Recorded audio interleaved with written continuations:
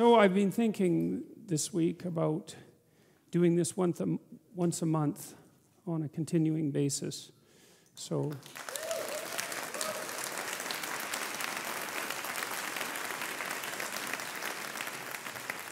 So I, I think if I do that, I think it'll be here, although it's harder to rent this theater during the academic year. But if it isn't here, it'll be somewhere else. And because I'd like to continue doing this, I'm learning an awful lot from doing it. And and uh, once a month would really be good because then I could really do the background work and and uh, and I could probably do that for a couple of years because obviously this isn't going very quickly. But that's okay. You know, I mean, it shouldn't go any faster than it can go, and that's how it that's how it seems to me, anyways. So. Uh,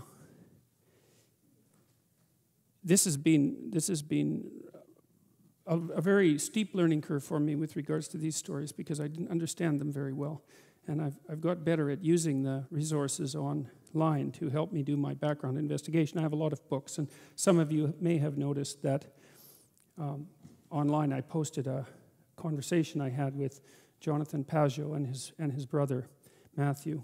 Um, I hope it's Matthew. I names escape me so badly, but I believe that's right. He just finished a book on the, on the Bible, and so I've been doing a lot of thinking and talking about these stories, trying to understand what they're about. And, and then there's all these commentaries. There's a, a great site, I think it's called Bible Hub, that has every single verse of the Bible is listed there, and then eh, with each verse there are like they've aggregated 10 commentaries from about 10 commentaries from over the last 400 years and so there's like a dense page on every line.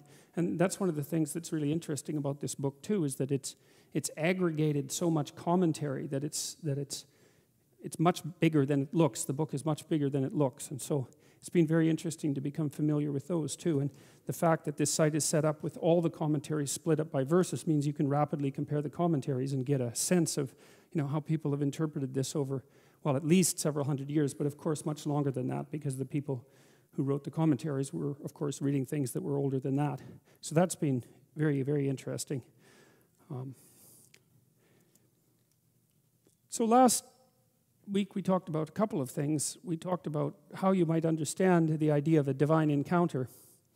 And then we also paralleled that with the idea that God disappears in the Old Testament. He, he bows out as the stories progress, and that seems to be a an emergent property of the sequencing of the stories, right? Because all the books were written by independent people, no, uh, different people, and then they were aggregated by other people. And so the narrative continuity is some kind of emergent property that's, that's a consequence of this interaction between people, readers, and, and writers over centuries. And it's, it's strange that given that there are also multiple coherent narratives that unite it, you know, it's really, it's really not that easy to understand that, but it does at least seem to be the case.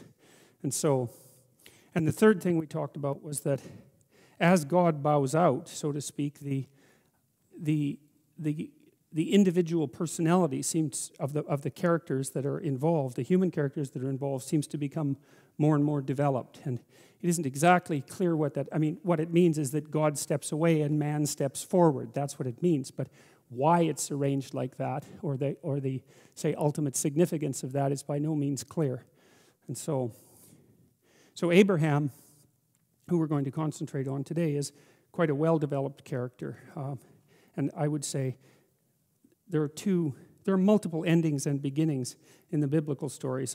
The most important ending, I suppose, is the ending of the, of the Garden of Paradise and, and the, the, the disenchantment of the world and the, and the sending forth of Adam and Eve into history, right, into the future, into a, into a mode of being that has a future as part of it, and that has history as part of it, and that has the necessity of sacrifice and toil as part of it. That's obviously crucial. And then that's, that is replayed with the story of Noah because everything is destroyed and then the world is created anew. And then sacrifices have to be made in order for the world to begin. And then you see the same thing happen again after the Noah story in the Tower of Babel because history, as we really understand history, seems to start with Abraham because the stories of Abraham sound like historical stories. And, you know, scholars debate about the historical accuracy of the Bible. And I suppose there's, there's no way of ever determining once and for all the degree to which you might regard the, the accounts as equivalent to modern empirical history. But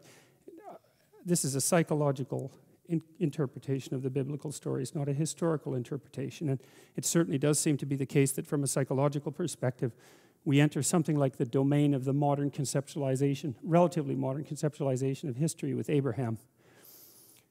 Beyond the accounts of divine commands that Abraham carries out, this is from Friedman, the man I mentioned in the last lecture, who wrote The Disappearance of God and a variety of other books uh, that are well worth reading. The narrative also includes a variety of stories in which Abraham acts on his own initiative. He divides land with his nephew Lot. He battles kings. He takes concubines. He argues with his wife Sarah. On two occasions, he tells kings that Sarah is his sister out of fear that they will kill him to get his wife. He arranges his son's marriage.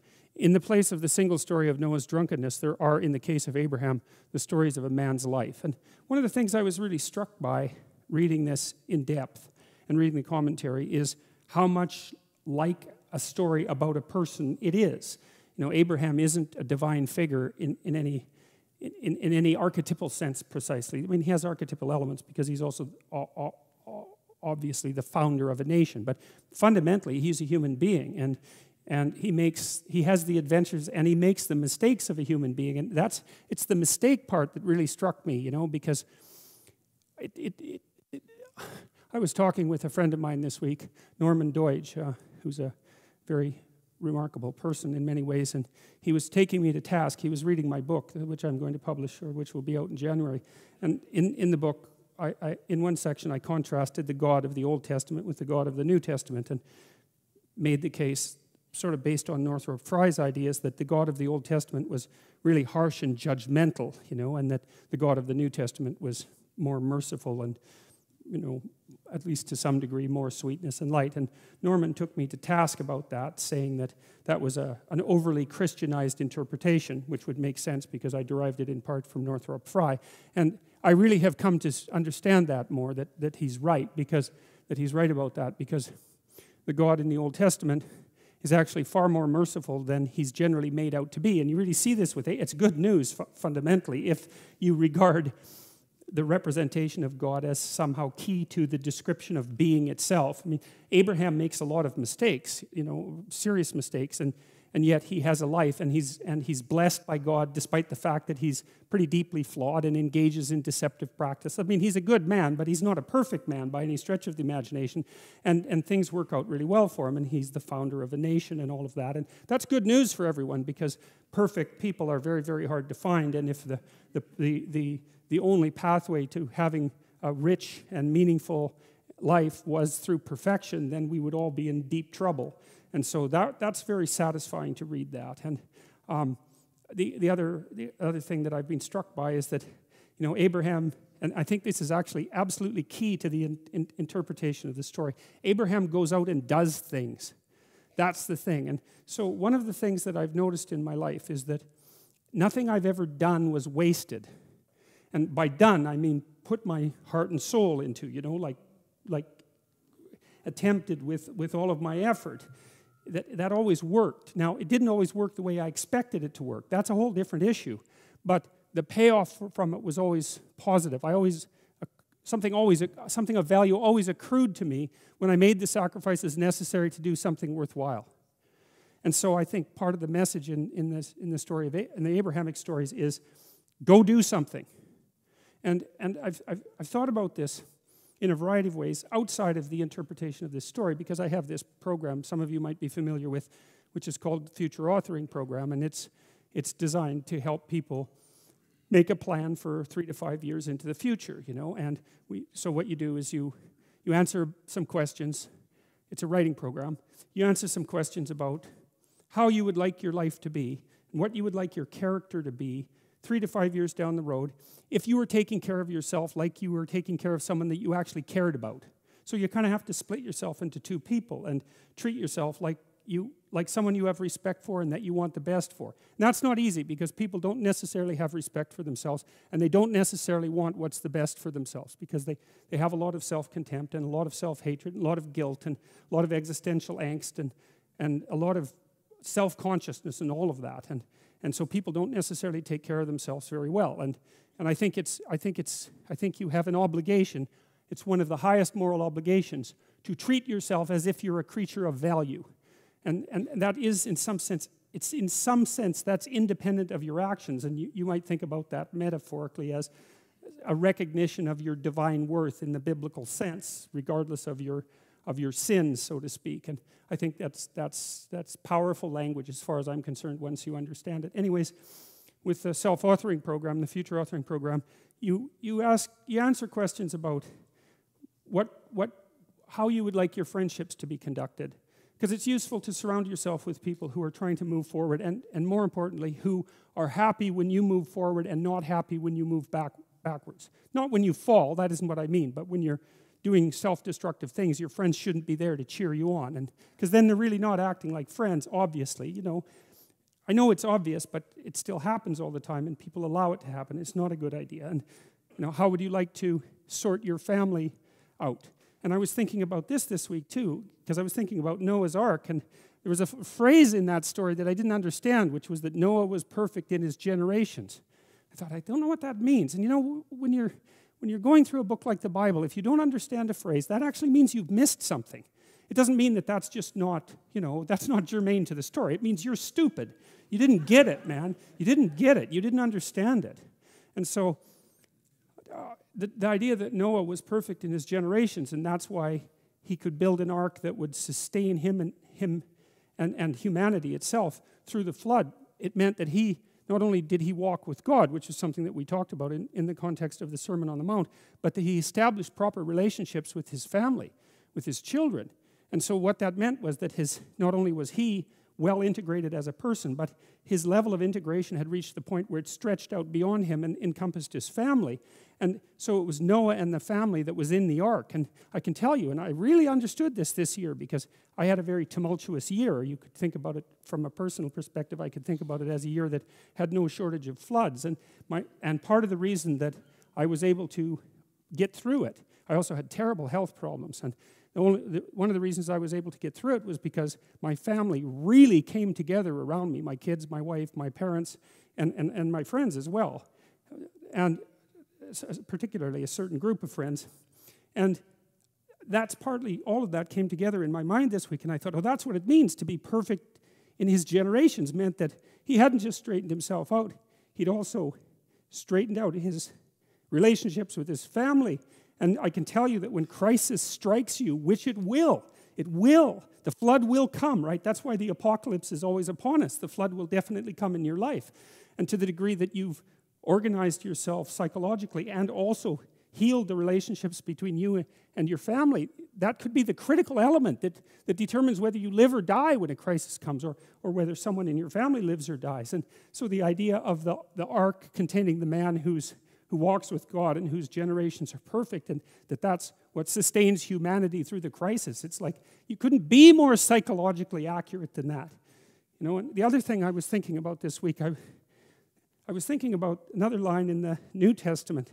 I think it's from the Sermon on the Mount, but I'm not absolutely sure. Christ compares the kingdom of heaven to a mustard seed. And so I was thinking about a mustard seed is a very tiny seed and it grows into quite a spectacular, complex plant. And I was thinking about how you should operate in the world in order to make it a better place, assuming that that's what you should be doing. And that, that is what you should be doing. And there, there's lots in the world to fix. Everything that bothers you about the world and about yourself should be fixed. And you can do that. And my dawning realization I have a friend. He lives in Montreal. His name is James Simon. He's a great painter and he's taught me a lot of things. Help, he's helped me design my house and beautify it. And I bought some paintings from him a couple of years ago. Um, and he did this series of paintings where he went around North America and, and stood in different places. And then he painted the view from here down. And so it's his feet planted in different places on roads, in the desert, on the ocean. I have one actually hanging over my toilet, which is him standing at a urinal. Um, yeah, well, you know, he was trying to make a point, and the point was that wherever you are, it's worth paying attention. And that's because, you know, so all these places that he visited, he looked at exactly where he was, standing by the side of the road in the desert, sort of mundane in some sense, but then maybe he put 40 hours into that painting, you know, and it's, it's very, very realistic painting with really good light. And what he's telling you as a painter is everything is worth paying attention to an infinite amount, but you don't have enough time. And so the artist does that for you, right? The artist looks and looks and looks and looks and looks and then gives you that vision. And so then you can look at the painting and it reminds you that right where you are is there's every everything that there is is right where you are. And that's a hard thing to realize, but it's actually true. And so I've, I've been telling people online in various ways and in lectures that they should start fixing up the world by cleaning up their room. And I wanted to just elaborate on that a little bit before I get back to the lecture itself. So, as it's become this internet, weird internet meme, you know, uh, and, and, and, and, and it's a joke, and good, it's a joke. I, am really happy about the fact that so much of this has got like the leaven of humor in it. It's really important because that's what stops things from degenerating into, into conflict, humor. And I was thinking about this idea of cleaning up your room in relationship to the mustard seed idea. And you see, the thing about cleaning up your room, this is also something I learned from Carl Jung and his studies on alchemy, because for Jung, when the alchemist was attempting to make the philosopher's stone, he was not only engaged in the transformation of the material world, but he was engaged in a process of self transformation that occurred at the same time as the, as the chemical as the chemical transformation. So it was a psychological work in some sense. Let's say you want to sort out your room and beautify it, because the beauty is also important. And let's say that all you have is just a little room, like you're not rich, you're, you're poor, and, and you don't have any power, that's another thing. But you've got your damn room, and you've got this space right in front of you, you know, that, that, that's a part of the cosmos that you can come to grips with. And you might think, well, what's there in front of you, right in front of you? And the answer to that is it depends on how open your eyes are. That's the proper answer because you could say, and William Blake said this, for example, and Aldous Huxley made comments that were very similar that in a transcendent state you can see infinity in the finite. And you might say, well, you can, say you can see infinity in what you have within your grasp if you look. And you could say maybe that's the case with your room. And so you want to clean up your room. Well, okay, how do you do that exactly? Well, a room is a room is a place to sleep. And so if you set your room up properly, then you figure out how to sleep and when you should sleep and how you should sleep. And then you figure out when you should wake up. And then you figure out, well, what clothes you should wear because they have to be arranged properly in your dresser. And then you have to have some place to put your clothes. And if you're going to have some clothes, you have to figure out what you're going to wear those clothes to do, right? And then that means you have to figure out what you're going to do. And then your room has to serve that purpose because otherwise it isn't set up properly. And if it doesn't set up, if it doesn't serve your pur purposes, you will be unhappy and not happy in the room because the way that we perceive the world is as a place to move from point A to point B in. And then if the place that we're in facilitates that movement, then we're happy to be there. And if the place that we're in serves as an obstacle to that movement, then we're unhappy to be there. And so what it means to set up your room is that you have to have somewhere to go that's worthwhile, or you can't set up your room, and then your room has to be set up to facilitate that. And then the next thing is, well, maybe you have to make it beautiful. But that's not easy, right? That means you have to have some taste. And that doesn't mean you have to have money. It doesn't, because you can be garish with money, and you can be tasteful with nothing. All you need is taste, and taste beats money when it comes to beautifying things. You know, I mean, not that money is trivial because it's not, but taste is crucial. And people who are very artistically oriented can make beautiful things out of virtually nothing. And not only that, the literature suggests that if you're going to make beautiful things, putting real constraints on, on what you allow yourself to do facilitates creativity instead of interfering with it. Because let's say you have to make something out of nothing, right? Which I suppose would be a godly act, right?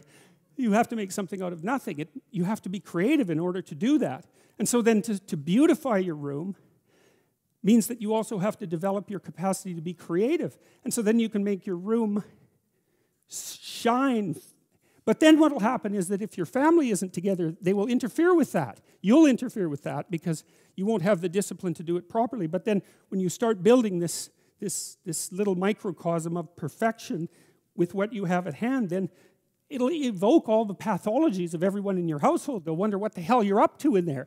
And they won't necessarily be happy because if you're if they're in a lowly place, let's say, and so are you, and you're trying to move out of that, then the, the higher you move out of that, the more the place they're in looks bad. And you might say, well, what they should do is celebrate your victory over chaos and evil, but that isn't what will happen. What will happen instead is that they will attempt to pull you back down. They'll attempt to, and I mean, obviously, all families don't do that, but, but all families do that to some degree, and some families do almost nothing but that. And so, what that means is that if you're going to organize your room, then you're going to have to confront the devils in your house. And that's often, that's often a terrifying thing because some of those devils have have lineages that go back many, many, many generations. And God only knows what you have to struggle with in order to overcome that. And so, and then, and so to sort yourself out and to fix up your room is a non-trivial matter, you know. And you, you can do that. You'll learn by doing that. And then maybe you'll learn enough by doing that so that you can fix up your family a little bit. And then having done that, you'll have enough character so that when you try to operate in the world at your job or maybe in the broader social spheres, that you'll be a force for good instead of harm because you'll have learned some humility by noting just how difficult it was to put your damn room together, well, and yourself for that matter. And so you'll proceed cautiously with your eyes open towards the good.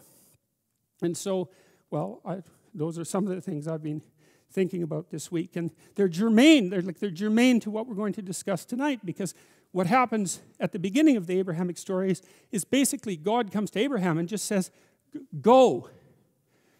Get going, man. Do something. Do something. Get going. And you might think, well, where should I go? And God, God is somewhat vague about that. And where he sends Abraham, it's, it's a real fixer upper, man. It's like there's starvation there, and, and there's tyranny, and there's, and there's marital dissolution, and there's deceit. Like it's, it's just like where you live, you know, it's exactly the same thing. It's, it's, it's tyranny and catastrophe. So that's, you know, the, the, the great, the tyrannical great father, because Abraham ends up having to sojourn in Egypt, and, and uh, there's a famine, and so Mother Nature is on the rampage, and Abraham lies about his wife, as we'll see. And so it's, it's the world, it's the world, it's tyranny and, and vulnerability and deceit.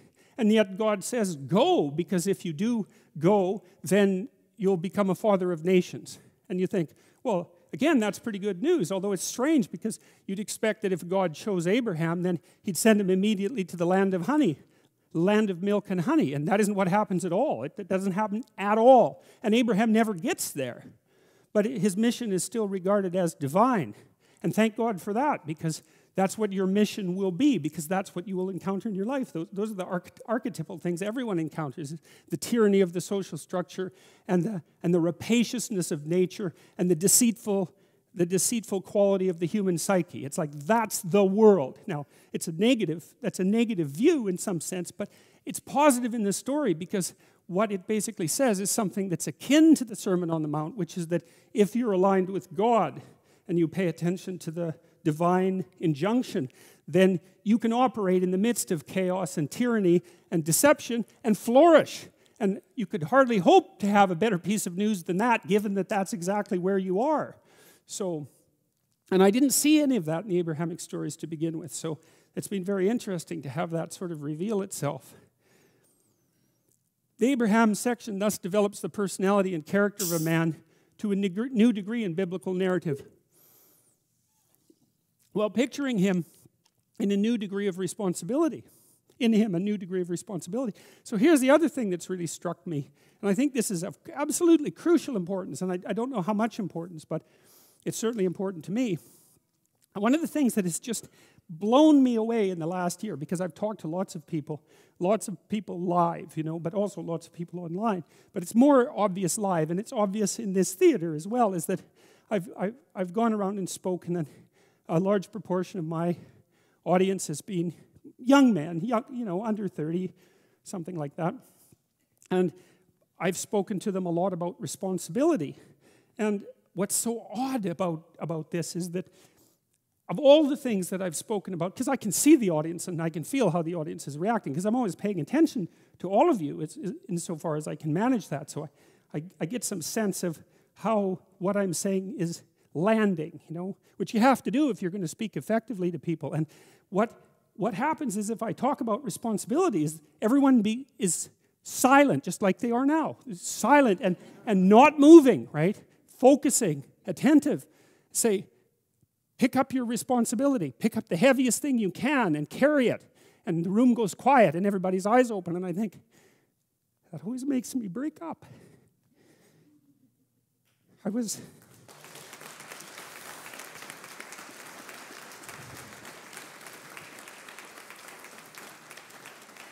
I don't, I don't know why. I was speaking to an English journalist today who's going to write a, an article in Spectator magazine, and I was talking about this. And at the same point in the discussion, the same, I had the same emotional reaction. I don't really understand it.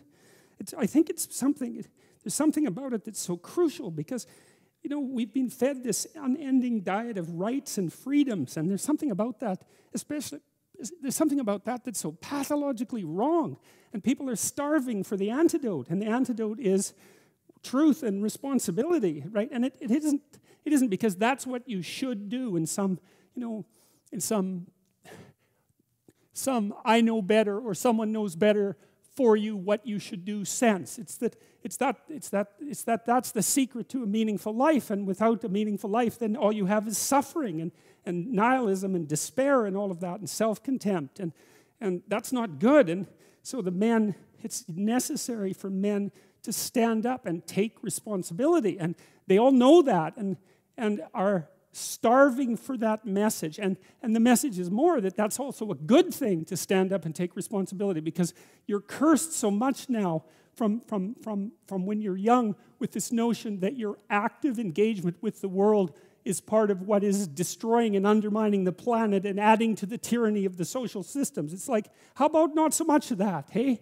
Because it's, it's, it's, it's too soul deadening. It's anti human right to the core. And my sense instead is that you know, if you, if you were able to reveal the best of yourself to you in the world, that you would be an overwhelming force for good, and that whatever errors might be made along the way would wash out in the works. And that's the other thing that you see in the Abrahamic stories, because Abraham is not a perfect person by any stretch of the imagination. He's a real person, and he makes mistakes, but it doesn't matter. The overarching narrative is, you know, maintain your covenant with God, and despite your inadequacies, then not only will you prevail, but your descendants will prevail. It's like, great, that's really good news, you know? So it's been really something to see that in the, in the stories.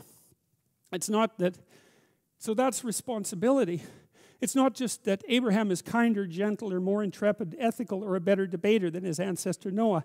Rather, both the Noah and Abraham stories are pieces of a development of an increasingly stronger stance of humans relative to the deity. Before the story is over, humans will become a good deal stronger and bolder than Abraham. Well, that's really something to say because Abraham is pretty bold. So we'll, let's read the stories. The first one is about Abraham, Sarah, and Lot. Now, these are the generations of Terah. Terah begat Abraham, so his name is Abram to begin with, and that actually turns out to be important. It's not Abraham. Nahor and Haran, and Haran begat Lot. So Haran is Abram's brother.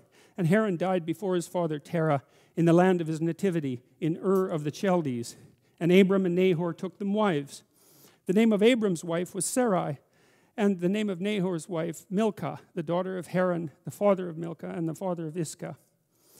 But Sarai was barren, she had no child. And Terah took Abram, his son, and Lot, the son of Haran, his son's son, and Sarai, his daughter in law, his son Abram's wife. And they went forth with them from the Ur of Chaldees, from Ur of the Chaldees, to go into the land of Canaan. That's exile. And they came unto Haran and dwelt there. And the days of Terah were 205 years, and Terah died in Haran. And there's a reason that Sarai is, is introduced as barren, and, and it's, it's to set the stage. I think it was Anton Chekhov who, when he was talking about uh, this, the stage setting for a play that if there was a rifle hanging on the wall, then it had better been used before, I believe, the second act, or it shouldn't be hanging there at all, right?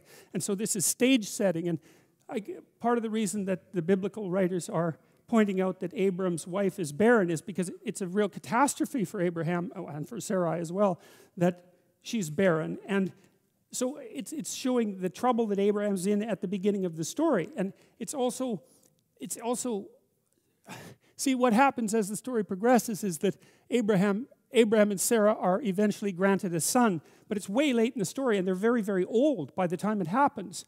And of course, you're not going to be a father of nations without having a child.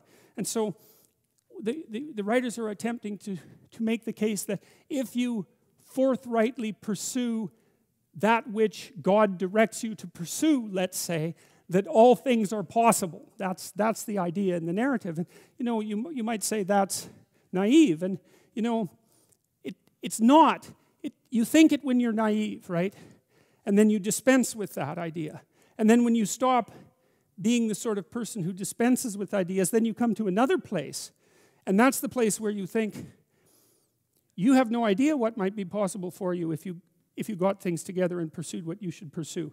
You don't know how much what's impossible to you right now would become possible under those conditions. It's an unknown phenomena. And like I've watched people who've put themselves together across time, you know, incrementally and continually, and they become capable of things that are jaw, not only jaw-droppingly amazingly, but also sometimes metaphysically impossible to understand. And so we don't know the limits of human endeavor. We truly don't. And it, it's, it's premature to put a cap on what it is that we are, what, that what it is that we're capable of. And so you, you know, you're already something, and maybe you're not so bad in your current configuration. But you might wonder if you did nothing for the next 30 years except put yourself together, just exactly what would you be able to do?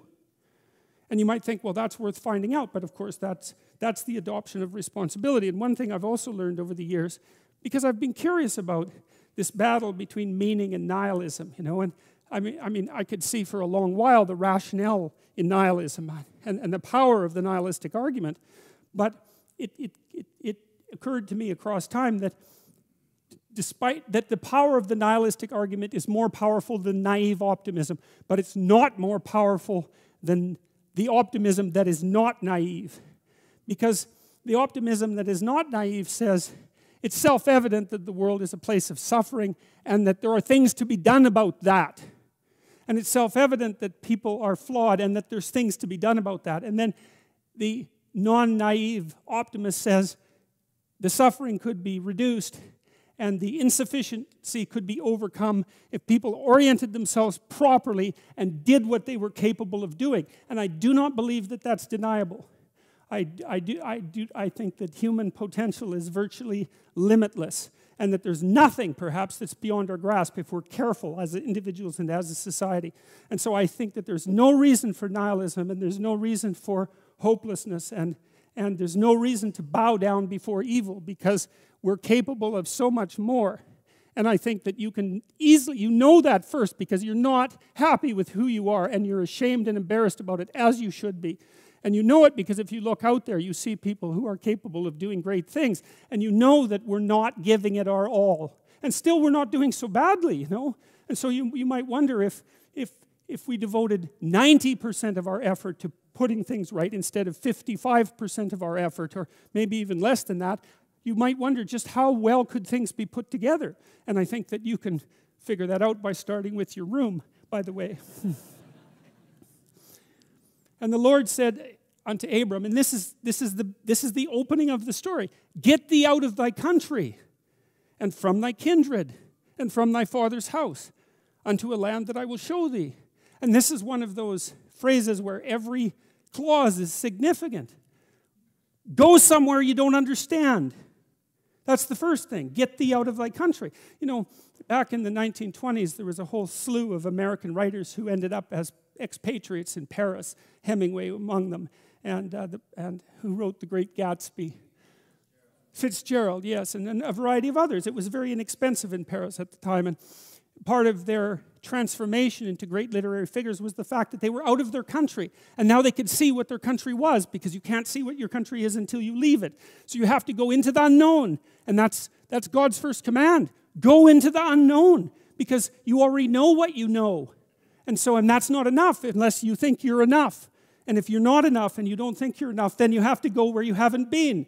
And so that's the first commandment to Abraham. It's like, okay, that, that's a good one. That makes perfect sense. Go to where you don't know. Yes. And from thy kindred. Well, what does that mean?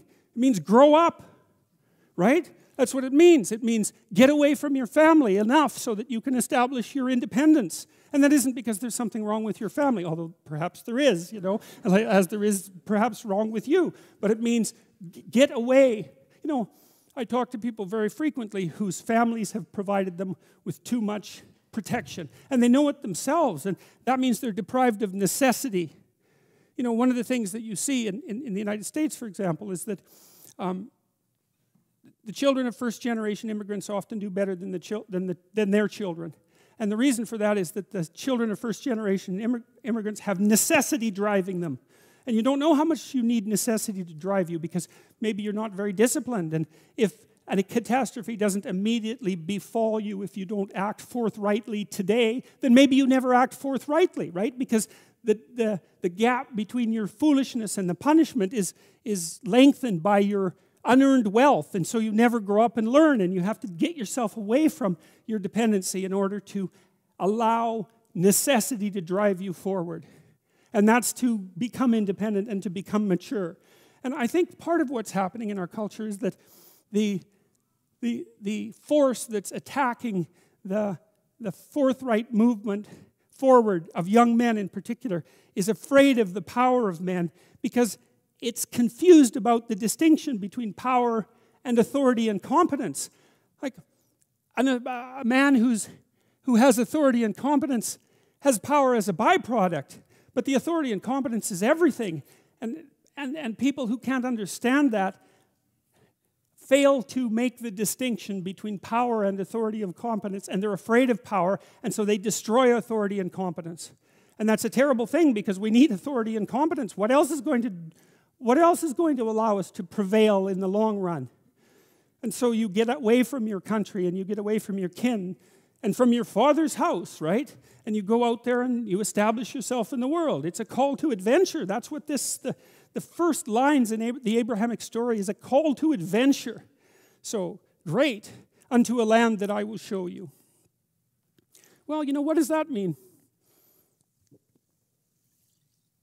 You know, one of the things that I've been struck very hard by a number of writers, Carl Jung obviously among them. I mean, he, he wrote things like Nietzsche that if you understand them, they just break you into pieces, you know. And, and one of the things that Jung understood and the psychoanalysts understand, it's one of the most terrifying elements of psychoanalytic thinking, is very tightly allied with religious thinking, which is that you are not the master of your own house. There are spirits that dwell in you, within you meaning you have a will and you can exercise a certain amount of conscious control over your being, but there are all sorts of things that occur within you that seem to be beyond your capacity to control. Your dreams, for example, that's a really good example, or your impulses, for example. You might, you might think of those as so foreign from you that they're not even, you don't even want them to be part of you. But, but more subtly, even, how about what you're interested in, what compels you? Like, where does that come from? Exactly because you can't you can't conjure it up of your own accord you know? So if you're a student and you're taking a difficult course you might say to yourself well i need to sit down and study for three hours. But then you sit down and that isn't what happens. Your attention goes everywhere. And you might say well whose attention is it then if it goes everywhere? Because you say it's your attention. It's like well if it's your attention maybe you would be able to control it. But you can't. And so then you might think well jen just exactly what the hell is controlling it and you might say, well, it's random. It's, well, it better not be random. I can tell you that. That's, that happens to some degree in schizophrenia. There's an element of randomness in that. It's not random. It's driven by the action of, of phenomena that I think are best considered as something like subpersonalities, although even that's only a partial description. You can't make yourself interested in something. Interest manifests itself and grips you that's a whole different thing. And so, what is it that's gripping you? And, and how do you conceptualize that? Is that a divine power? Well, it's divine as far as you're concerned because it grips you and you can't do anything about it. And so, there's a calling in you towards what you're compelled by and what you're interested in. And sometimes that might be very dark and sometimes not. But you're compelled forward by your interest. And so, and so the idea that what moves you away from your country and your father's house and the comforts of your childhood home is, is something that's beyond you and that you listen to and hearken to. That's exactly right. And you can say, well, I don't want to call that God. It's like, it doesn't matter what you call it exactly. It, it doesn't matter to what it is, what it's called. It still is. And if you don't listen to it, that's the other thing. If you don't listen to it, and I've been a clinician and talked to enough people now, as old as I am, to know this absolutely. If you do not listen to that thing that beckons you forward, you will pay for it like you cannot possibly imagine. You'll have everything that's terrible about life in your life and nothing about it that's good. And worse, you'll know that it was your fault and that you squandered what you could have had. So, this is not only a calling forth, but a warning unto a land that I will show thee. And, and that's it, that I will show thee. That, and you don't want to be too concrete about this, you know. There's all sorts of new territories that you can inhabit if you there's, there's abstract and conceptual territories. If you go to university and you study biology or you study physics or, or any discipline, you're in a territory, right? You're in the territory that all the scholars have established. And then as you master the discipline, you move out beyond the established territory into the unknown. And, and that's a new land, right? Maybe it's even a land of your enemies for that matter. But it's a new land. The frontier is always in front of you. And so, you know, when the earth was less inhabited than it is now, the frontier was the psychological frontier and the geographical frontier was the same thing, and now they've separated to some degree because there's not so much geographical frontier. But there's the frontier is a place that never disappears, and the land that's beyond the land that you know is always there, and it's always where you should go. And all of that's packed into these what four phrases. So, well, so when I've been thinking about narrative, you look at the world through a story. You can't you can't help it, and this, the story is what gives value to the world, or, or the story is what you extract from the value of the world. You can look at it either way. You're somewhere and it's not good enough, right? That's the eternal human predicament. Wherever you are isn't good enough. And to some degree, that's actually a good thing because if it was good enough, well, there's nothing for you to do. So it's actually maybe a good thing that it's insufficient. And that might be why sometimes having less is, is better than having more. And, I don't want to be a Pollyanna about that. I mean, I know that there's deprivation that can reach to the point where it's, no, where it's completely counterproductive. But it isn't always the case that starting with little is you, if you start with little, you start with more possibility. It's something like that. So you move from always from what's unbearable about the present to some better future, right? And if you don't have that, then you have no, you have nothing but threat and a negative emotion. You have no positive emotion because the positive emotion is generated in the conception of the better future and then the evidence that you generate yourself that you're moving towards it. That's where the positive and fulfilling meaning of life comes. So you want to set up this structure properly. It's very, very important. And so what it means is that you want to be going somewhere that's good enough so that the going is worth the while. And you can ask yourself that. And that's partly what we tried to build into the future authoring program, which is well, we know what's wrong with life. It's rife with suffering and insufficiency and deception and evil. It's all of that, obviously. Okay, what would make the journey worthwhile? Well, you can ask yourself that. It's like, all right, in order to bear up under this load, what is it that I would need to be striving to attain? And if you ask yourself that, that's to knock and, and the door will open. That's what that means. If you ask yourself that, then you will find an answer and you'll think, you'll shrink away from it. You'll think, well, there's no way I could do that. It's like, well, you don't know what you could do, you don't know what's possible, and you're not as much as you could be. And so, God only knows what you could, what you could do and have and give if you sacrificed everything to it. And that's the reason Abraham is constantly making sacrifices. And it's archaic, right? He's burning up like baby lambs, but like, well, they're alive. You know, that's something. And, and they're valuable, and that's something. It's, you have to admit, even if you think about it as a modern person, that the act of sacrificing something might have some dramatic compulsion to it.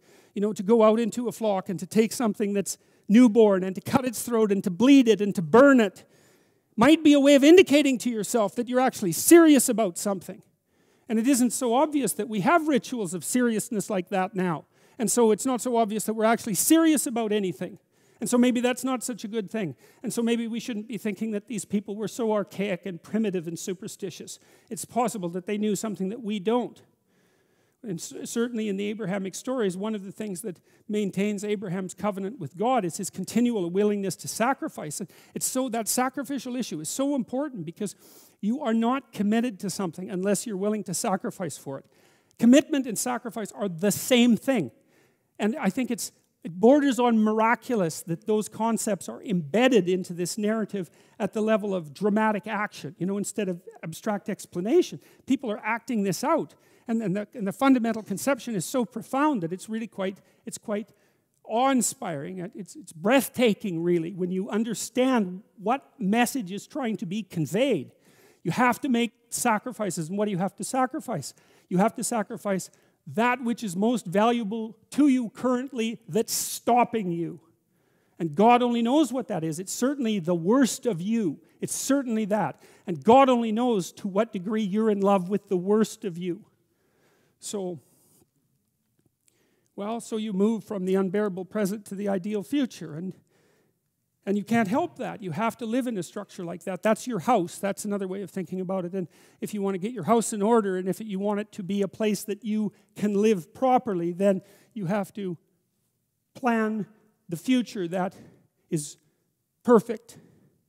And then I think, well, what does that mean? And it means it's good for you, right? And one of the things that I, I'm, I do all the time with my clinical and consulting clients is try to figure out what would be good for them. But we, we do more than that. We try to think, okay, well, what, how can we set this up so it's really good for you and that all the side consequences of that are things that are good for other people? And so, because people are often also timid about trying to get something that's good for themselves because they feel that it's selfish or that they don't deserve it. So, we set it up so that, well, look, we're going to set it up so that it's plainly obvious that this will not harm the structure of the universe. For you to have what you need and to do it in a way that's of benefit to other people. There's no downside to that.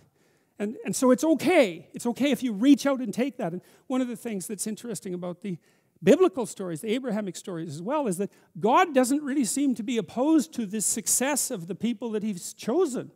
You know, what happens to them is as they progress through their journey is they, they get larger flocks and they, they get more authority and they, they get, they get, more, they get life more abundant. That's what happens. It's, God isn't, doesn't seem to be a miser in the Old Testament. It's like if you put in the effort and you, and you accept the covenant and you make the sacrifices, then you get to be successful and maybe successful beyond your wildest dreams. And that that's actually seems to be okay with God. And that's pretty cool given that, you know, that the general notion of Old Testament God is that all he's doing is casting out curses and death, you know, wherever he happens to wander. And I mean, there's certainly no shortage of that. But, but again, it seems to me that that's very good news and that you also don't have to be perfect in order for, to have that happen.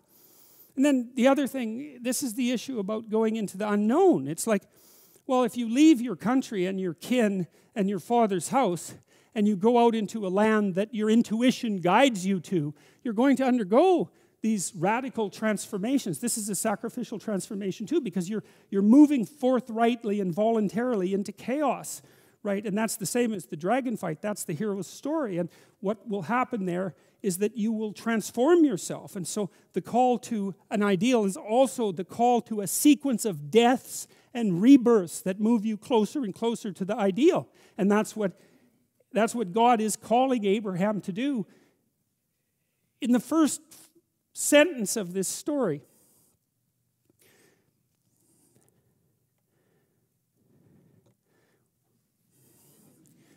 You see these things echoed in the strangest places. And so these are stills that I took from Pinocchio. And this little cricket, so he's the still small voice, right? That's the thing that calls to you. It's your conscious, conscience in part, it's your intuition in part. And it's the thing that opens up the great book of the world, the great sacred book of the world. And that's what happens here, right? And the animators are at pains to show you that. It's a leather bound book with gilt lettering, it's a valuable book. And it's something that's quiet that's showing it to you, right? You have to meditate, let's say. You have to be somewhere where the world isn't drowning you out in order to understand how to open this, to listen to that voice that tells you where you should go, what you should do next. And then what happens is that something beckons to you in the night. It's a star, right? It's something that transcends the horizon. It's, it's glitters, it's, it's brilliant, it's, it's not day to day. It's something that's beyond you. It, it, it's something that represents a transcendent ideal and that makes it manifest to you if you're quiet enough to listen. And that's what you wish upon so strangely, right?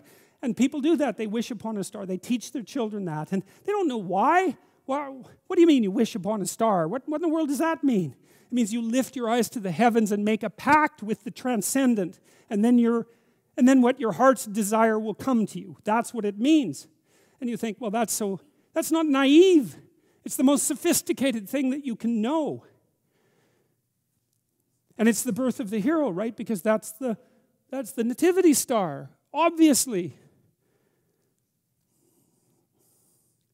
And this is where it takes place. It's just anywhere. And the person in it is just a, carpenter and a toy maker. But that's pretty good. A carpenter, if you're a deceitful carpenter, then your house falls down. And if you're a toy maker, then you love children. It's, that's a good start, you know. So, so Geppetto, who lives in this little, it's, it's, it's, a, it's not a grand house. It's, it's, it's just an everyday house, but everything that's happening in it is good. And so that means it's, it's a palace because everything in it ha- that's happening is good. There's a saying, and I, I don't remember where it comes from, that it's better to have bread and water in peace than a feast in conflict. And like that's not a saying, that's just the starkest possible description of the truth because there's nothing worse than eating a grand meal with people you hate and despise that are at each other's throats. It's much better to have bread and water in peace. It's, it's, it's not, it's, it's just clear headed analysis of the structure of the world to say things like that. And so the magical transformation can happen in the most mundane of places. Because, and the reason for that is that the mundane nature of places is an illusion because every place is the potential birthplace of the kingdom of God. That's the case. And so Geppetto, he's a good guy. He has a kitten, you know, the kitten likes him. He makes puppets, and he's a humble person.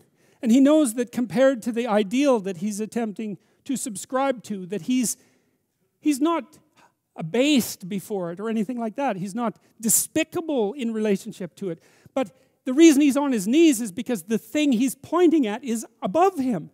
You know, if he, it, it wouldn't be the right aim if it wasn't above him. And so the fact that he's on his knees, so to speak, is only an indication that his aim is proper because you should be on your knees to something that you actually admire. And if you don't feel like being on your knees in front of it, then perhaps you don't actually admire it. And then that means you haven't got the stage set properly. It could be, it should be something that fills you with awe. Your aim should, should be at something that fills you with awe. Because what why, why do something else? Well, perhaps because it's easy, and perhaps because it's malevolent, and all of those things. But, but those are no answer to the problems that beset you. They just make things worse, and that's clear.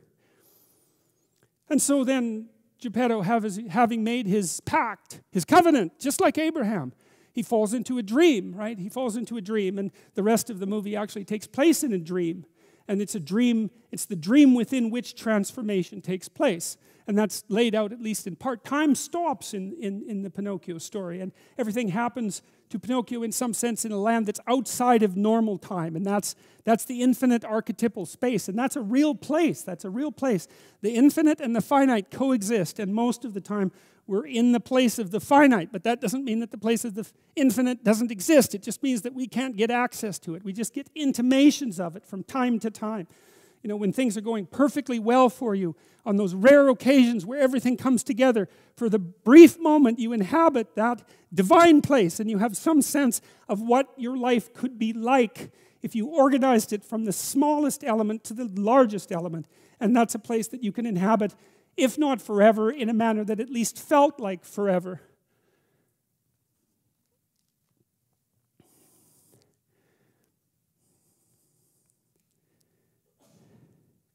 Well, because of Geppetto's decision, the transcendent manifests itself.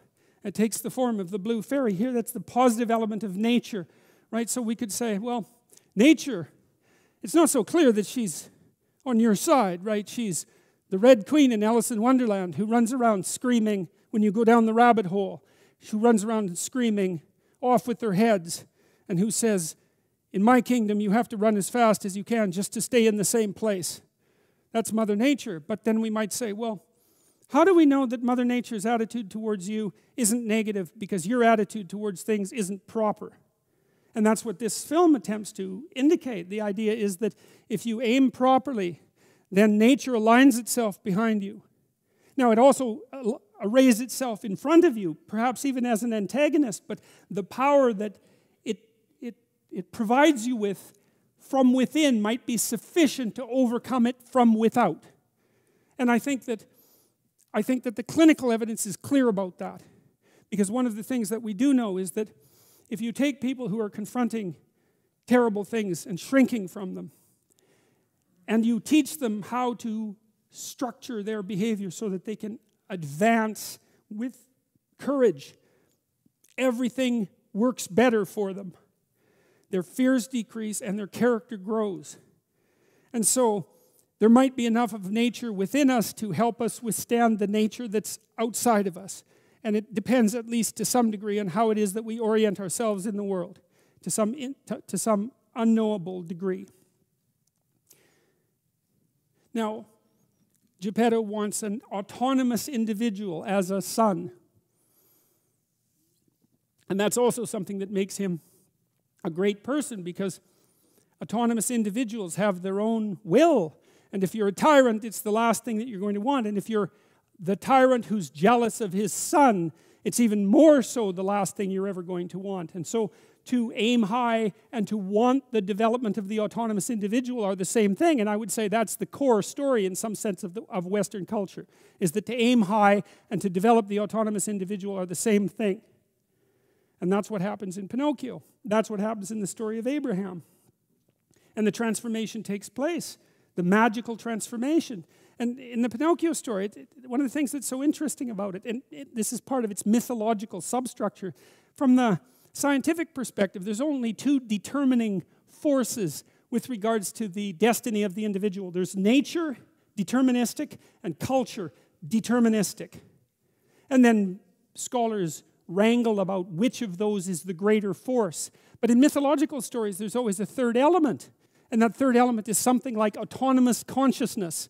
And there's no place for autonomous consciousness in the deterministic story of nature and culture. But we all act as if autonomous consciousness is the primary reality.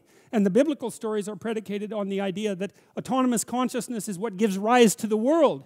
And I don't think that we're in a position to presume that that is necessarily in error.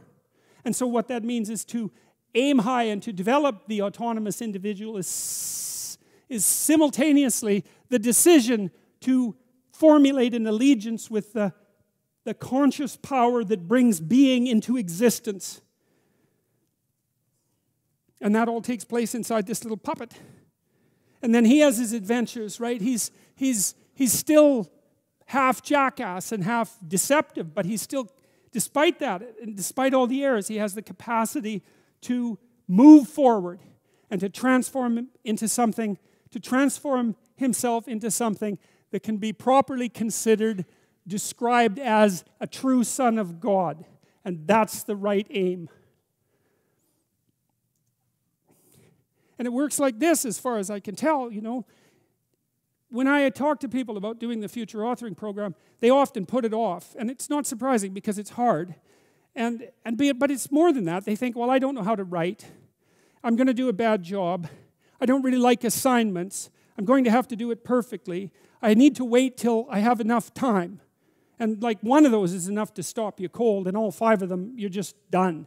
And so I tell people do it haphazardly, a tiny bit at a time, and badly, because you can do that.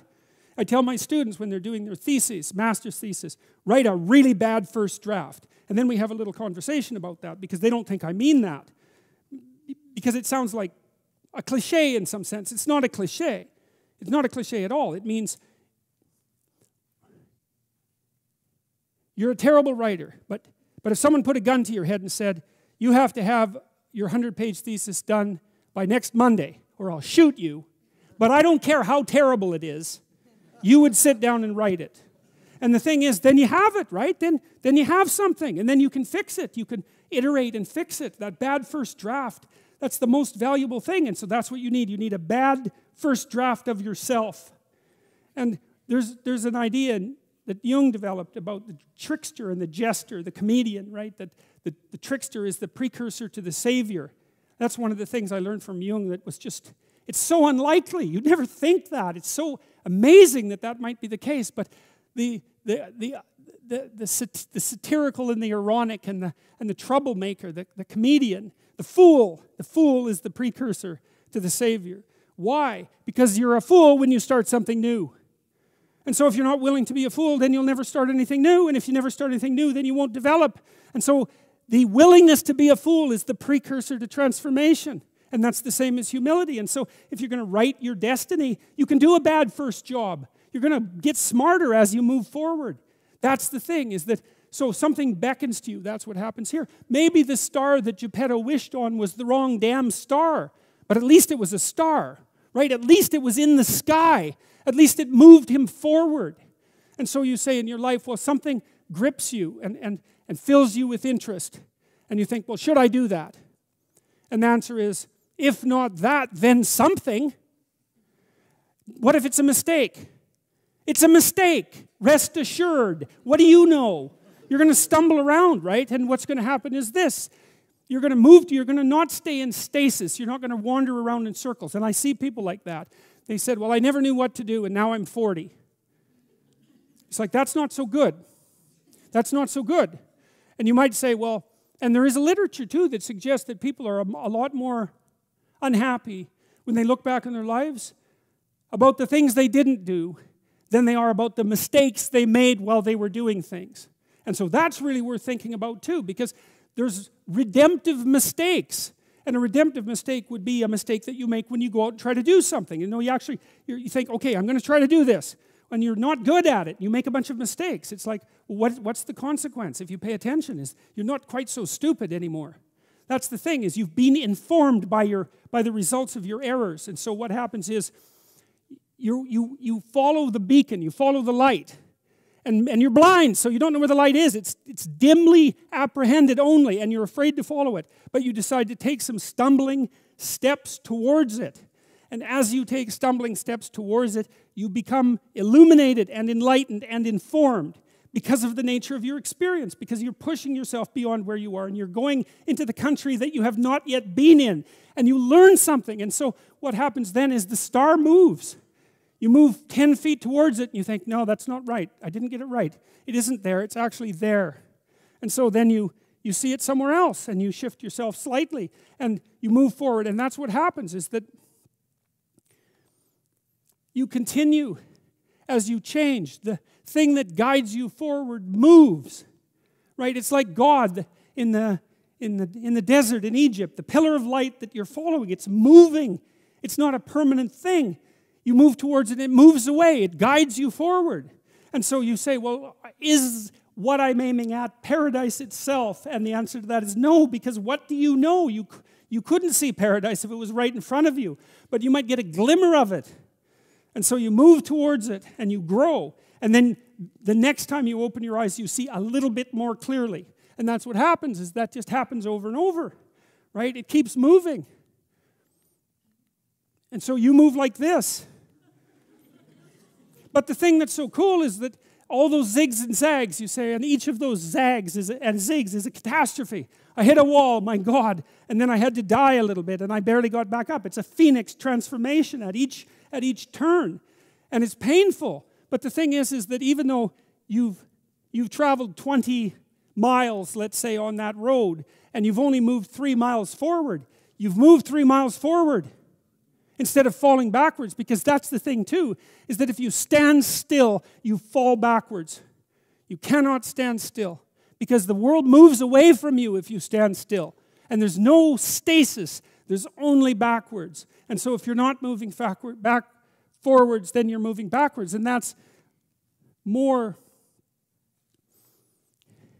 more of the underlying truth of, of the matthew principle to those who have everything more will be given from those who have nothing, everything will be taken. It's a warning. Do not stay in one place. Well, as you zig and zag, maybe the, maybe the cataclysm of each transformation starts to lessen. There's not so much of you that has to die with every mistake. And maybe you end up oriented at least reasonably properly. And if you were sensible, that would have been your trip. But it wasn't, right? It's that. And perhaps it's a lot worse than that. Perhaps there's no shortage of backtracking, but it doesn't matter because as you stumble forward, you, you illuminate and inform yourself. And perhaps that's partly because the world is made of information. And if you encounter it and tangle with it, then it informs you. And then you become informed. And then you're in formation. And then you're ready. And so God says to Abraham, I will make of thee a great nation, and I will bless thee, and make thy name great, and thou shalt be a blessing. That's a, that's a good offer, fundamentally. I mean, it, it means, what does it mean to, to be made a great nation of? Well, perhaps it has something to do directly with your descendants, but I don't think it's just that, you know. Is if you're a force for good in the world, then that radiates out from you. And if you're good enough, it's difficult to say how much of an impact on things you could have. You know, Dostoevsky, who is a very crazy person, partly because of his epilepsy, he said, A man is not only responsible for everything he does, but for everything that everyone else does. And you think, well, no. no. No. And yes, sometimes no. Sometimes that's what you think if you're cataclysmic, cataclysmically depressed, right? Is that your sins are so egregious that, that they're unforgivable and that in some manner you're at, you're at fault for everything that's terrible with the world. But there's actually truth in that, and there's actually redemptive truth in that, is that things wouldn't be so bad if you weren't so if you weren't so far from what you could be. And that's terribly pessimistic because it's all on you, man. But it's terribly optimistic because, God, there's a lot of things that you could do. And if you're crying out for something to do, then that's the best news you could possibly have. It's like things aren't so good, but neither are you. So if you stop doing the things that you knew to be destructive, which is the right place to start, you know, if you're going to clean up your room, what do you do first? Well, you just get rid of the mess. You know, and you know what no, no one has to come in and tell you, hopefully, what's the worst mess. It's just, it announces itself to you. And you can certainly know yourself. And this is a very easy meditative exercise to sit down and think, okay, I'm doing one thing really stupidly that I should stop doing. It's like, how long is it going to take you to figure out what that is?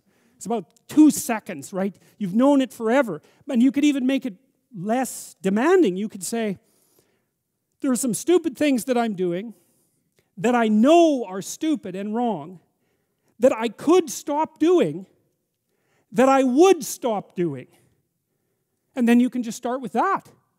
And you can just do that. And maybe it's just a little thing, although it's not, because it's, it's, a, it's a step forward on the proper voyage. It's not a small thing. And you think, well, what would happen? You could say, let's do this for a year or even a month. Just try not to do things you know to be stupid and wrong for a month. And that means not to say things you know to be stupid and wrong as well. Maybe that's the most important thing. Just do it as an experiment.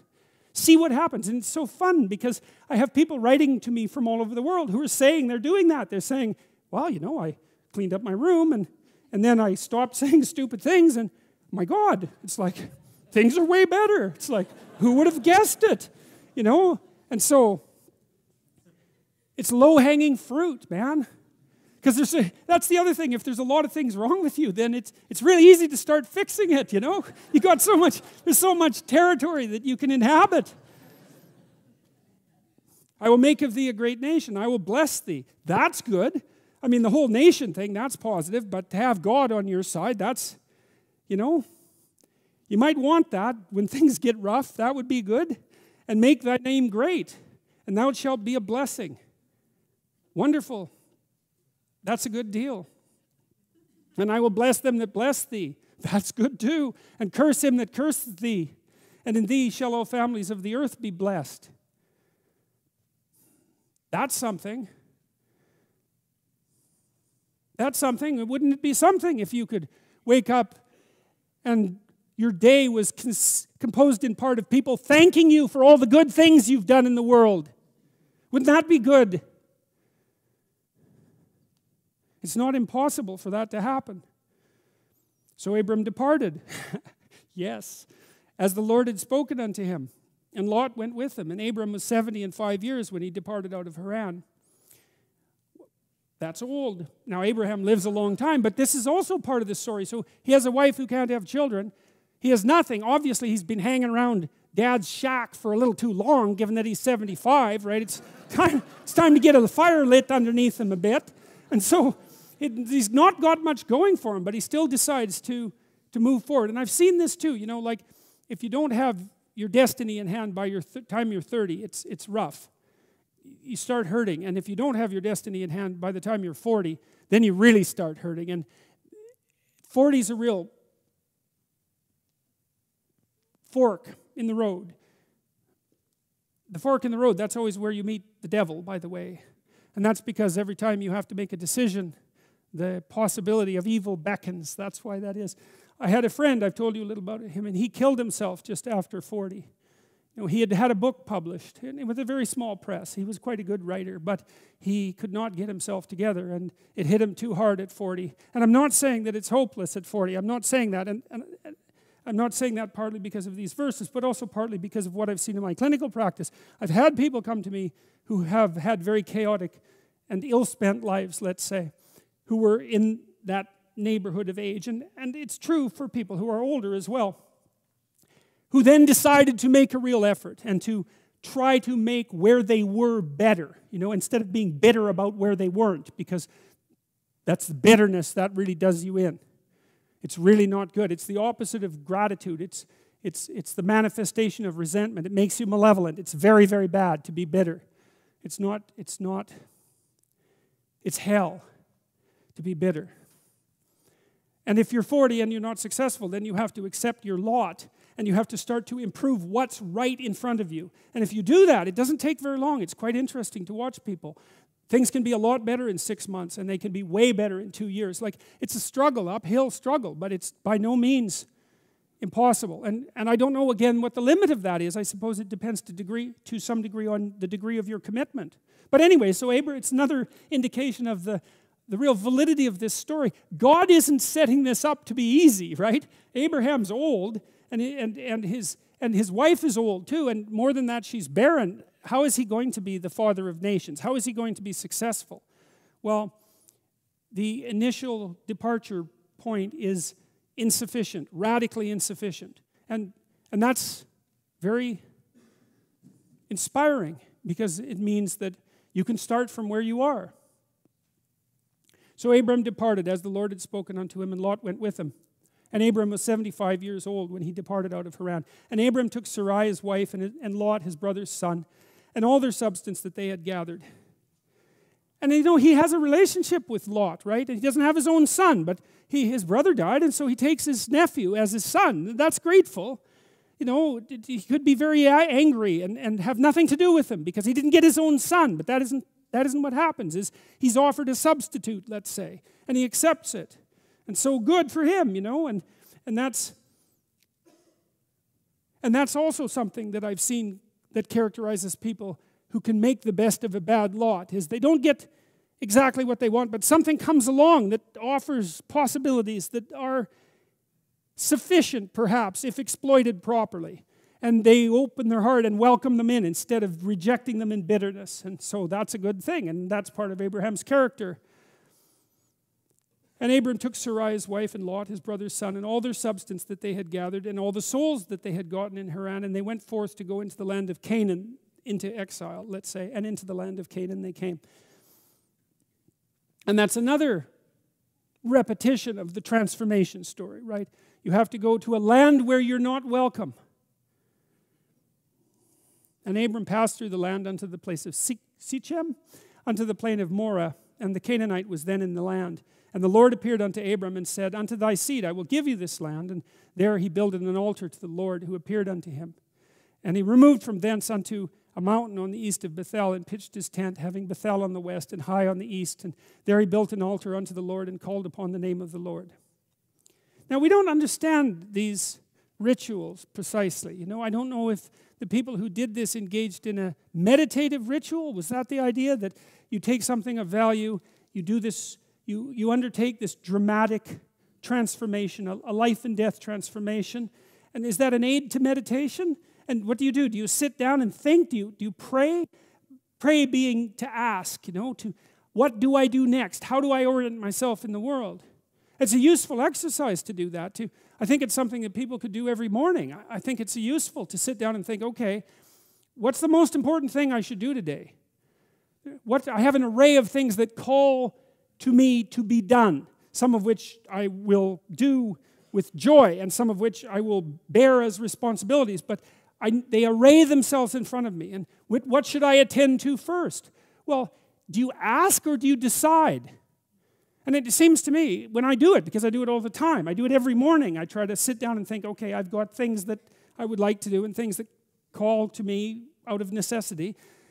What do I do first? And it's not so much a decision as it is a question.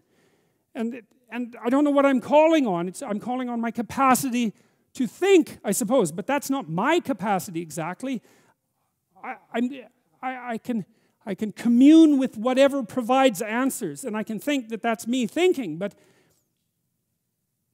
and it isn't that I believe that I can't think. I do believe that I can consciously think, but that's not the same as calling for inspiration. It's not the same process. Just like a dream is not conscious thinking, it's something that happens to you. And that kind of inspiration is also something that happens to you. Because I ask myself, well, what's the most important thing I could do next?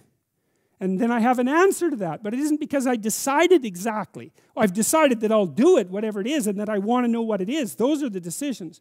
But, but there's an involuntary aspect to the sorting that occurs. And, and that's the psychological equivalent, I suppose, to this. And I guess the sacrifice is when I feel that I will do whatever it is that calls to be done, then I don't do the other things that I might want to do. And that's a sacrifice. It's, to me, it's the proper sacrifice because my sense is that things don't go properly unless you do what's most important. And if I want things to go properly, and I do, because I've had my taste of things not going properly, I want things to go properly. And so then, it's not so difficult to do what's necessary to, to do what makes things go properly under those circumstances. And it's partly, see, this is partly why the story of Sodom and Gomorrah is embedded in the Abrahamic stories, I think, because that's an apocalyptic story, right? If things go badly enough, the whole city is destroyed. And then and the reason it goes badly is because the people in the city do not behave properly. And the people in the city might be you and so, if you're not behaving properly, then you go, and so does the city. And maybe you don't want, maybe you do want that, but maybe you don't want that. And if you don't want that, then maybe, and you know that if you don't do things properly, then it's you and the city. If you actually know that, then maybe that terrifies you badly enough so that you're willing to make the sacrifice to do the right things instead of the impulsive things that you might otherwise want to do.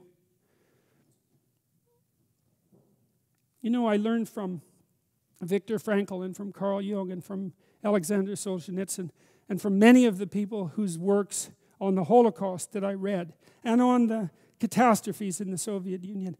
And the people who'd studied it most deeply always came to the same conclusion. The state became corrupted because each individual allowed themselves to be corrupted, or perhaps participated joyfully in the process of being corrupted. And the consequence of that was the end of the world. And so, what that means is that if you don't behave properly, then you bring about the end of the world. And maybe you think, well, that's only the end of your world. Fair enough. Or maybe it's the only the end of your family's world, you know, which I suppose might give you some pause. But there's more to it than that because you're connected to everyone else. And what you do that isn't good distributes itself, and all the things you don't do that could be good take away from the whole. And so, if you know that, and I do think you know that if you take it seriously, because if you look at if you look at the historical events, the cataclysmic events of the 20th century seriously, I do not think that you can fail to come to that conclusion. And Abraham journeyed, going on still towards the south. That's interesting because to go south means to go downhill. It's not good to go south. It's colloquial for going to where you shouldn't go. And so this is what happens to Abram. You know, he, his ascent is preceded by a descent. And that's very common in life, I would say. And so, it, so the redemptive element of this narrative is that if the covenant is constructed properly, so it's an ark, which is your decision to align yourself with God for all intents and purposes, then even the journey south can be part of a broader journey upward. And there was a famine in the land. That's Mother Nature failing to cooperate. I mean, that's got to be pretty disheartening for Abraham, don't you think? Because he finally gets it together when he's 75 to leave. And then, you know, because God says, well, it's, you know, get going. And, and so the first place he goes, everyone's starving to death. It's like, you know, you might think about that as a test of faith, wouldn't you say? But he keeps going. And then what happens? Well, he has to go to Egypt. So great. He goes where he's starving, where everyone's starving. And then to get away from where everyone's starving, he goes to a tyranny. So the whole beginning of the story is not particularly auspicious. And Abram went down into Egypt to sojourn there, for the famine was grievous in the land. It's a repetition of the same idea again. There's downhill voyage out into chaos, right? It's repeated over and over that the beginning of Abraham's journey is basically a sequence of, of, ex, of experiences of exile chaos, tyranny, and catastrophe. Well, you should be able to relate to that. You know how hard it is to get things together. You know, you go out to do what you're supposed to do, say, and there's you're beset by the intransigence of the world and failure. Well, so what are you supposed to do about that? Well, maintain your faith in the good and continue to move forward. That's the idea. And part of that, even if even if you don't buy the metaphor, it's like, what are you going to do instead? that won't make it worse. So even if, there, if it isn't an up that you're pursuing, you're at least forestalling the transformation of the chaos into your, of your life into sheer hell. And that can certainly happen. You know, you see people who are having a terrible time, and then you see people who are having a terrible time who are also in hell. And it's a lot better to just have a terrible time than to have a terrible time and be in hell at the same time. And it came to pass when he was come to near to enter into Egypt that he said unto Sarai's wife, Behold, now I know that thou art a fair woman to look upon. Therefore it shall come to pass when the Egyptians shall see thee, that they shall say, This is his wife, and they will kill me, but they will save thee alive. So look, I mean, Abraham is Abraham is really having a rough time. He's a failure, right? I mean, he's wandering around through the land of starvation. Now he's going to go be a quasi-slave in Egypt. He has this incredibly attractive wife and all he can look forward to is the fact that the most successful man in Egypt, the Pharaoh, will take her from him. So he's got the whole embitterment thing pretty much nailed down as far as I can tell. And this is when he makes one of his errors, let's say, and one of the errors that humanizes him. Say, I pray thee, that thou art my sister, that it may be well for me for thy sake, and my soul shall live because of thee. And it came to pass that when Abram was come into Egypt, the Egyptians beheld the woman, that she was very fair. The princes also of Pharaoh saw her and commended her before Pharaoh, and the woman was taken into Pharaoh's house. And he entreated Abram well for her sake. And he had sheep and oxen and he asses and men servants and maid servants and she asses and camels. So actually things work out pretty well for, for Abram, despite his deceit, right? Which is quite interesting. And I guess it's because if the overarching structure is solid, something like that, it's something like that, then, then errors can still be forgiven, to, to speak about it from a metaphorical perspective. And the Lord plagued Pharaoh and his house with great plagues because of Sarai, Abram's wife. Well, it doesn't seem very fair, but because the Pharaoh didn't know, but, but it's not the right way to look at it. The, the right way to look at it. See, there's a story later in the in the Bible about David. And David, David could be a pretty bad guy, you know. So one of the things he does is when he becomes king, he, he's in his castle and he's looking over the city and he sees a woman nude, bathing nude, sunbathing nude on, on, a, on a, roof out on the city and he's smitten by her, floored by her, and he has inquiries made about who she is. Her name is Bathsheba. And, and he finds out who her husband is. And her husband actually happens to be a general in his army. And he arranges for that general to be put at the thick of the battle and killed. And then he takes Bathsheba. So, and, and, and the Lord is not pleased by that. Let's put it that way. And that's interesting. You know, it's, a, it's an interesting story because you might say, well, why can't the king do whatever the hell he wants? Like, seriously, he, he's the king. He's not just, and he's not like the prime minister, or the president, right? He, he's the king. And so you might say, well, why is the king subject to any rules whatsoever? What's the rationale for the king being subject to rules? Well, the rationale emerges in these stories is there are social strictures that are such that even if the ruler of the land transgresses against them, there will be hell to pay. And that's continually presented over and over in the biblical stories. And it's a natural law sort of idea. It's that there are, there are intrinsic rules to the game of social human being. And if you and maybe intrinsic rules to the to the natural state of human being. You break those rules consciously or unconsciously at your absolute peril. And not only at your peril, but at the peril of the state. And it doesn't matter who you are. And so I would say this is actually an indication of God being fair rather than being unfair. Because the rule here is Pharaoh or not. You don't get to take someone else's wife, and ignorance is no excuse. Now, you might say that's a little bit harsh, and perhaps it is a little bit harsh, but it's not without merit. The idea is not without merit. And of course, Abram is complicit in this. Despite that, he is successful. And Pharaoh called Abram and said, What is this that thou hast done unto me? Why didst thou not tell me that she was thy wife? Why saidst thou, you, She is my sister? I might have taken her to me to wife. Now therefore, behold thy wife, take her and go thy way. And Pharaoh commanded his men concerning him, and they sent him away and his wife and all that he had.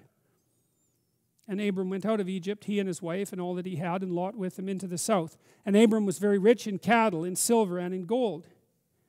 And that's a, so it's interesting, you know, Abraham, he, he goes to the place of famine and then he goes to the, to the place of tyranny and then he, he lies and then he almost loses his wife. But because he goes, things work out for him. And so, hooray for that. And he went on his journeys from the south, even to Bethel, unto the place where his tent had been at the beginning between Bethel and Hai, unto the place of the altar. So he makes another sacrifice, which he had made there at the first. And there Abram called on the name of the Lord. Well, so he's had an adventure, right? He's, he's, he's, he's finished his journey. And, and so there's a culminating point in this narrative, and now he doesn't know what to do. He's, he's left the place he's at, he doesn't know what to do. So it's time to build an altar and make a sacrifice and figure out and to ask for divine guidance once again to, to figure out okay well I'm, I'm done that been there done that. What's next? And, I'm, and the question is asked seriously and this is something to consider. If you want to know what to do ask seriously and say i'm willing to see abraham sacrifices a life to his vow. Well so what do you do? Well you don't sacrifice an animal. You don't you don't make a blood sacrifice. You do it psychologically you say, I'm going to sacrifice my life to this aim. That's what you do if you're serious. What do I do next? Well, I'm going to sacrifice my life to this aim. What is it that I should do that's worth sacrificing my life to? That's a serious question. Well, and maybe that's the sort of question that people don't ask because they're afraid of the seriousness of the question and the and the, what the magnitude of the potential answer. Do you really want to know what you should do that would be worth sacrificing your life to? Well, the answer is yes, because it's worth it. But the answer is also no, because, like, really, it's, your life, you know? What if you're wrong? And you're probably wrong. but maybe that doesn't matter. Maybe it doesn't matter because maybe the rightness is in the process and not in the and not in the decision, right? Because it's not it's the beginning of a sequence of decisions as we've already pointed out Uh, unto the place of the altar which he had made there at the first. And there Abram called on the name of the Lord. And Lot also, and Lot also, which went with Abraham, Abraham had flocks and herds and tents, and the land was not able to bear them. that they might dwell together, for their substance was great, so that they could not dwell together. And there was a strife between the herdmen of Abram's cattle, the cowboys, and the herdmen of Lot's cattle, and the Canaanite and the Perizzite dwelled then in the land. Well, and that's interesting too, because, you know, Abram's having a pretty good time of it now, right? He's out of starvation. Hey, that's good. He's out of the tyranny. Now he's kind of wealthy. And then the story flips on him. He's wealthy, and now a bad thing happens to him, right? It's that he's got all this wealth, and so does his nephew, and now they can't get along because they have too much stuff. So that's quite comical as well. I think that's a comic interlude here. Now they handle it properly. And Abram said unto Lot, Let there be no strife, I pray thee, between me and thee, and between my herdmen and thy herdmen, because we're brothers. Is not the whole land before thee? Separate thyself, I pray thee, from me. If you'll take the left, then I'll take the right. Or if you depart to the right, then I'll go to the left. So basically, they sit down and say, Well, you know, one of us has got to get out of town, and it can be one or the other. It doesn't really matter. We can flip a coin, or, but we have to, we have to separate. And so they, they do it amicably. And Lot lifted up his eyes and looked at all of the plain of Jordan, that it was well watered everywhere. So that's an intimation of Eden, right? Because you remember, Eden means well watered place. Before the Lord destroyed Sodom and Gomorrah, even as the garden of the Lord, like the land of Egypt, as thou comest unto Zoar. So interesting, you get foreshadowing here again, right? So Lot and Abram are making the decision about where to go, and, and Lot looks out and, and sees a, a reasonable place, but then this warning comes up that there's a, there's a city out there, there's a place out there where things are not going to go well. Things are being done badly, and things are not going to go well. Then Lot chose him all the plain of Jordan, and Lot journeyed east, and they separated themselves, the one from the other. Abram dwelled in the land of Canaan, and Lot dwelled in the cities of the plain, and pitched his tent towards Sodom. But the men of Sodom were wicked and sinners before the Lord exceedingly. Now, the word sin, I've mentioned this to you before, I think. It's an interesting word. It's, it's the derivation of an archery term, in my understanding of its derivation. It, it, the, the Greek word was hamartia, and hamartia is an archery term which means to, to miss the bullseye. And you think it's worth thinking about that metaphorically because you, you got to think about all the ways that you could miss the bullseye, right? You could close your eyes. That's very common. You could just not lift up the damn bow and arrow to begin with you could face the wrong way. You could be unskilled in your aim. But I, and I also like the, the, the archery metaphor because human beings are built on a hunting platform, right? And we always aim at things. We're, we're things that, we're, we're ballistic creatures on a trajectory always. And we're always aiming at something. We're always aiming at the mark, and, which is, of course, what you do when you hunt, right? Because you have to hit the mark precisely. And that's what we're like. And so, but we're like that psychologically. We have to aim at something and then move towards it. And and so to sin is to miss the mark, is to, is to miss the bullseye, to, to fail to take aim, to aim badly, to aim carelessly, or to not aim at all. And that says, well, that's that's like a sin of omission. That's to not do. And then to be wicked is to aim at what you know you shouldn't aim at. And again, I don't, I don't think of that as an external morality precisely. I think that you can read the entire biblical narrative, again, from a psychological perspective, and say, we're not talking about external codes of conduct here, although we could. We're not.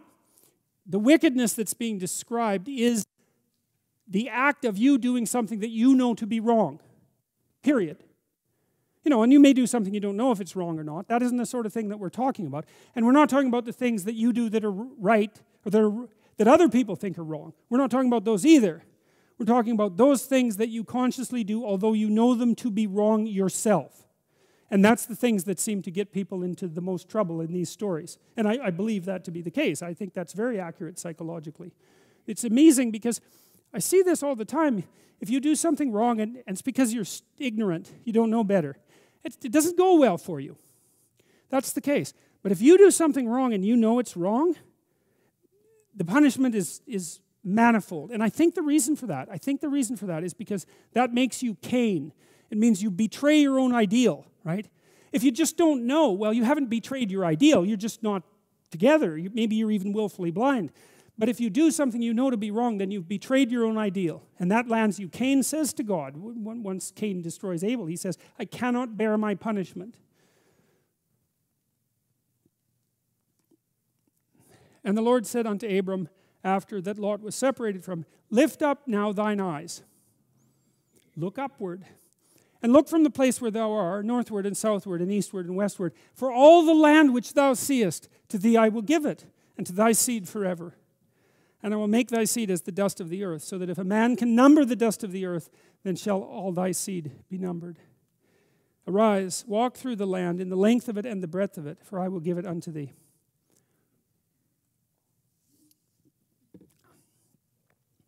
In the cathedral at Chartres, I can't say that properly because my French is non existent.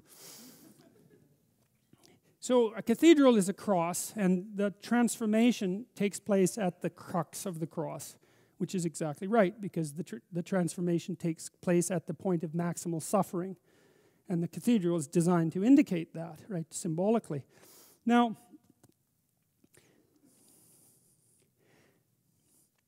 what happens in a religious ceremony is also a journey, and it's a journey in some sense to the holy city.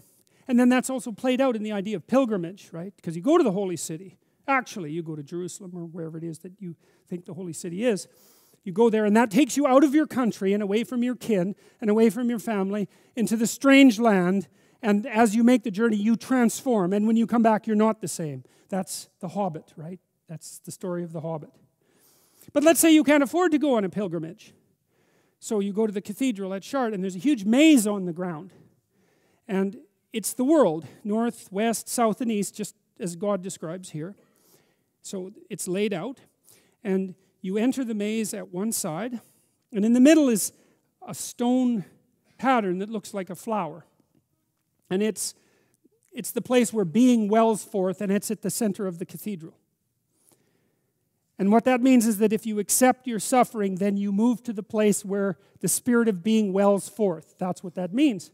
And so you enter the, the maze and you walk, and it's divided into quadrants.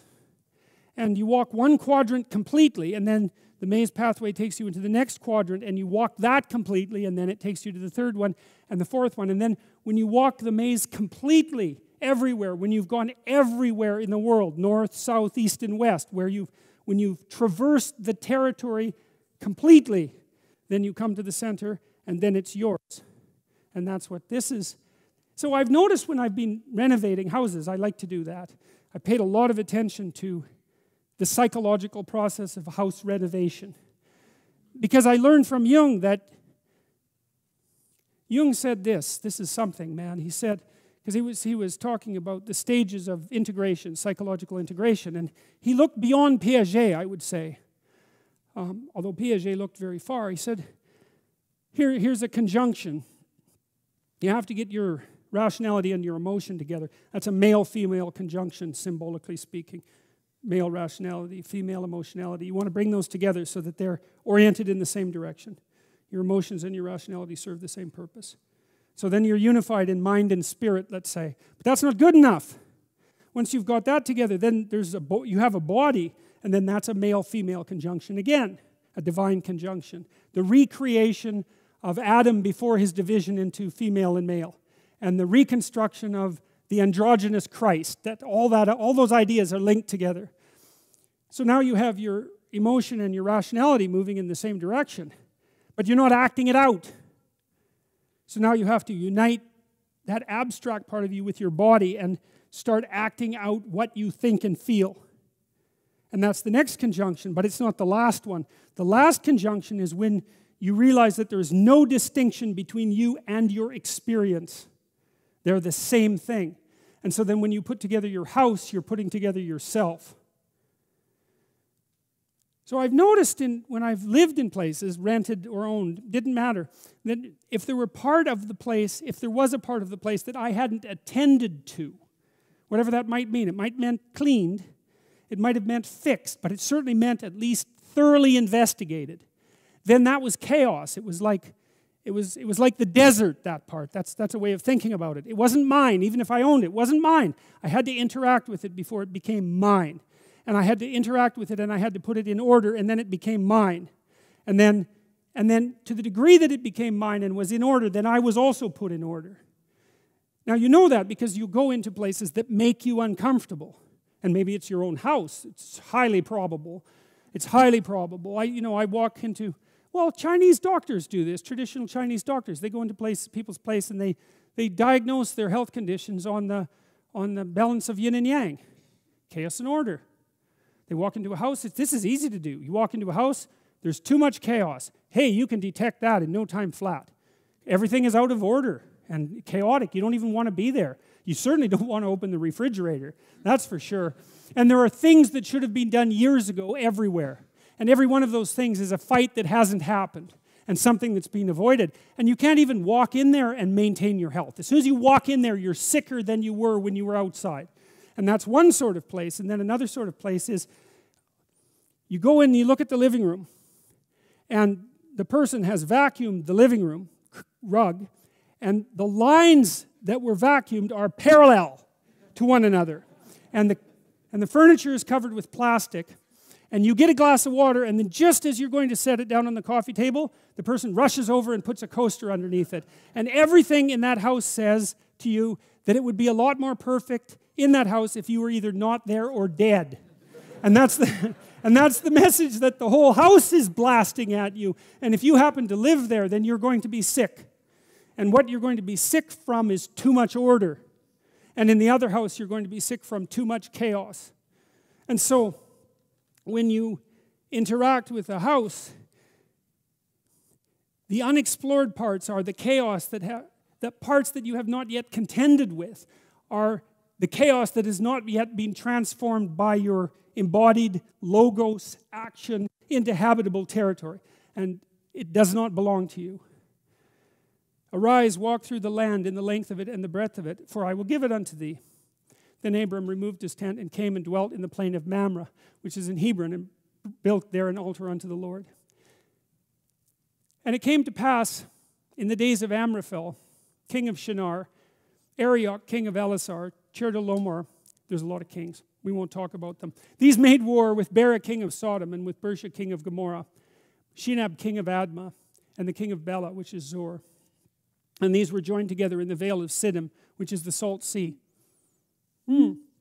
Now, this is actually very much relevant, hey, because you see, the vale of Siddim, which is the salt sea, is the farthest south you can go if south is down, because it's the Dead Sea, and the Dead Sea is the lowest place that there is. So, what's happened is that there's chaos in the lowest place that there is. That's what this story says. And what happens to Lot is he gets tangled up in the chaos of the lowest place that there is.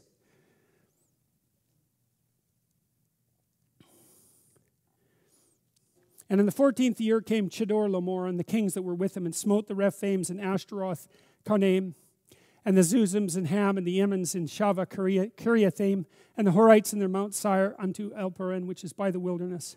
And they returned and came to En Mishpat, which is Kadesh, and smote all the country the Amalekites, Amalekites and the Amorites that dwelt in Hazah.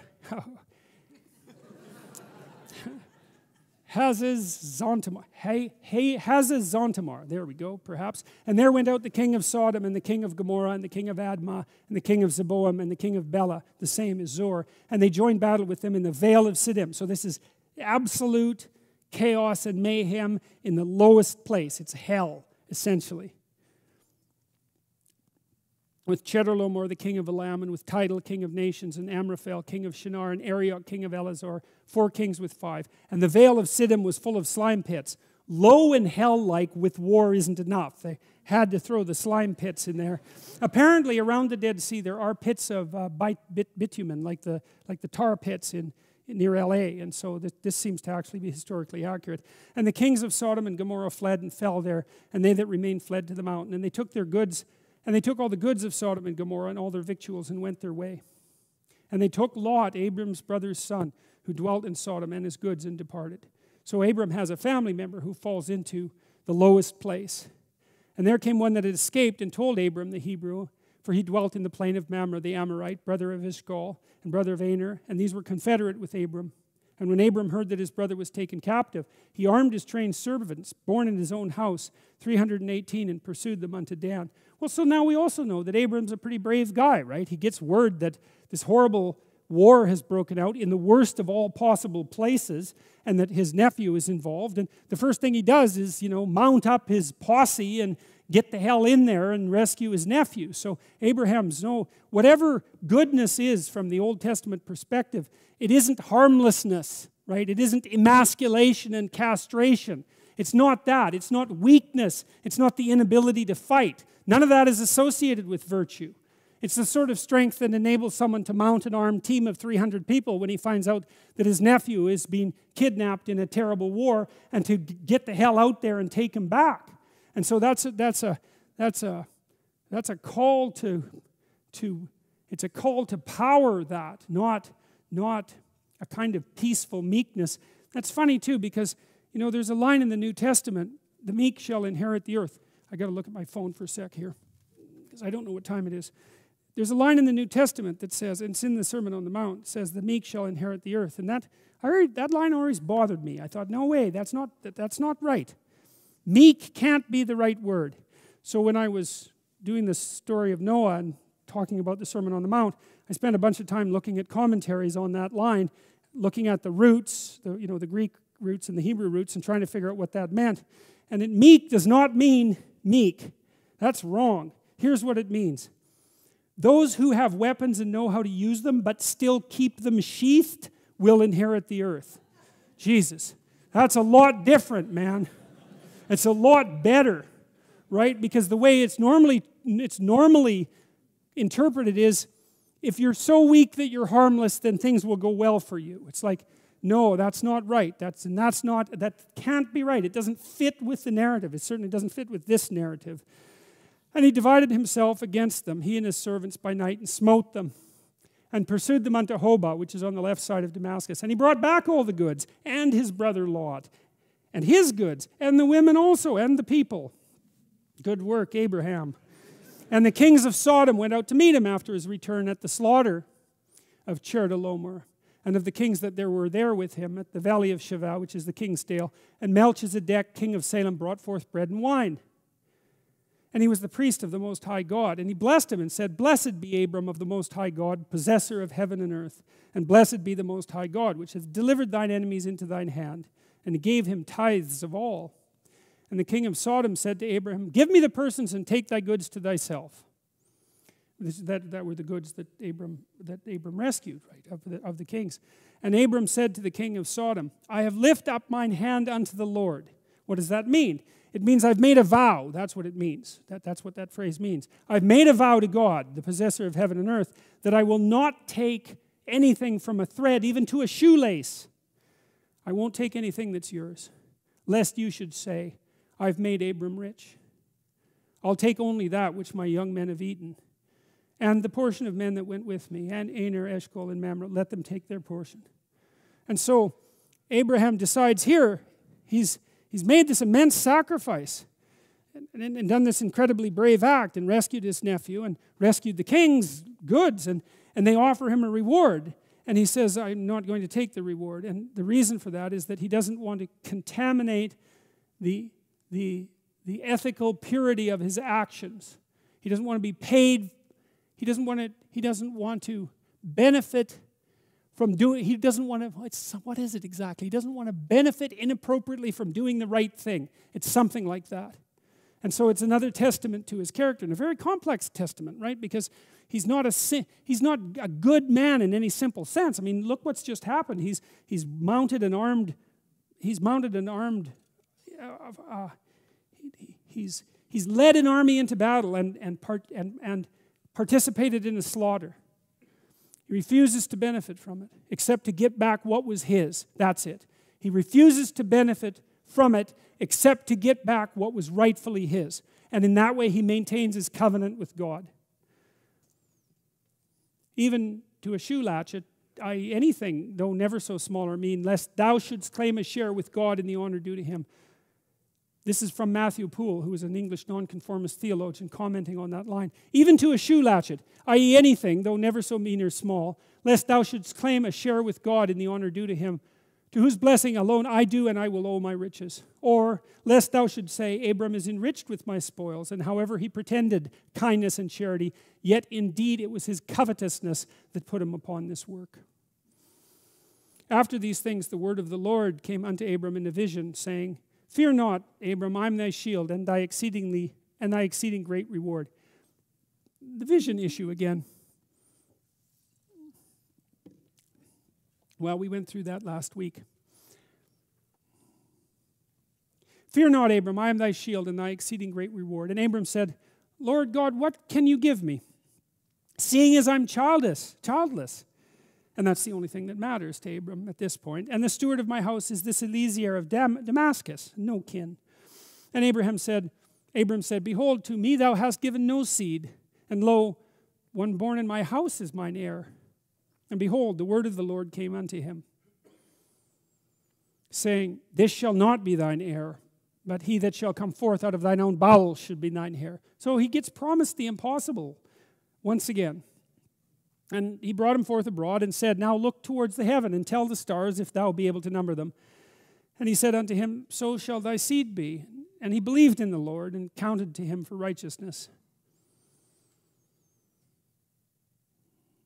You see, and this, this, this is the covenant idea, this belief. Because here's the belief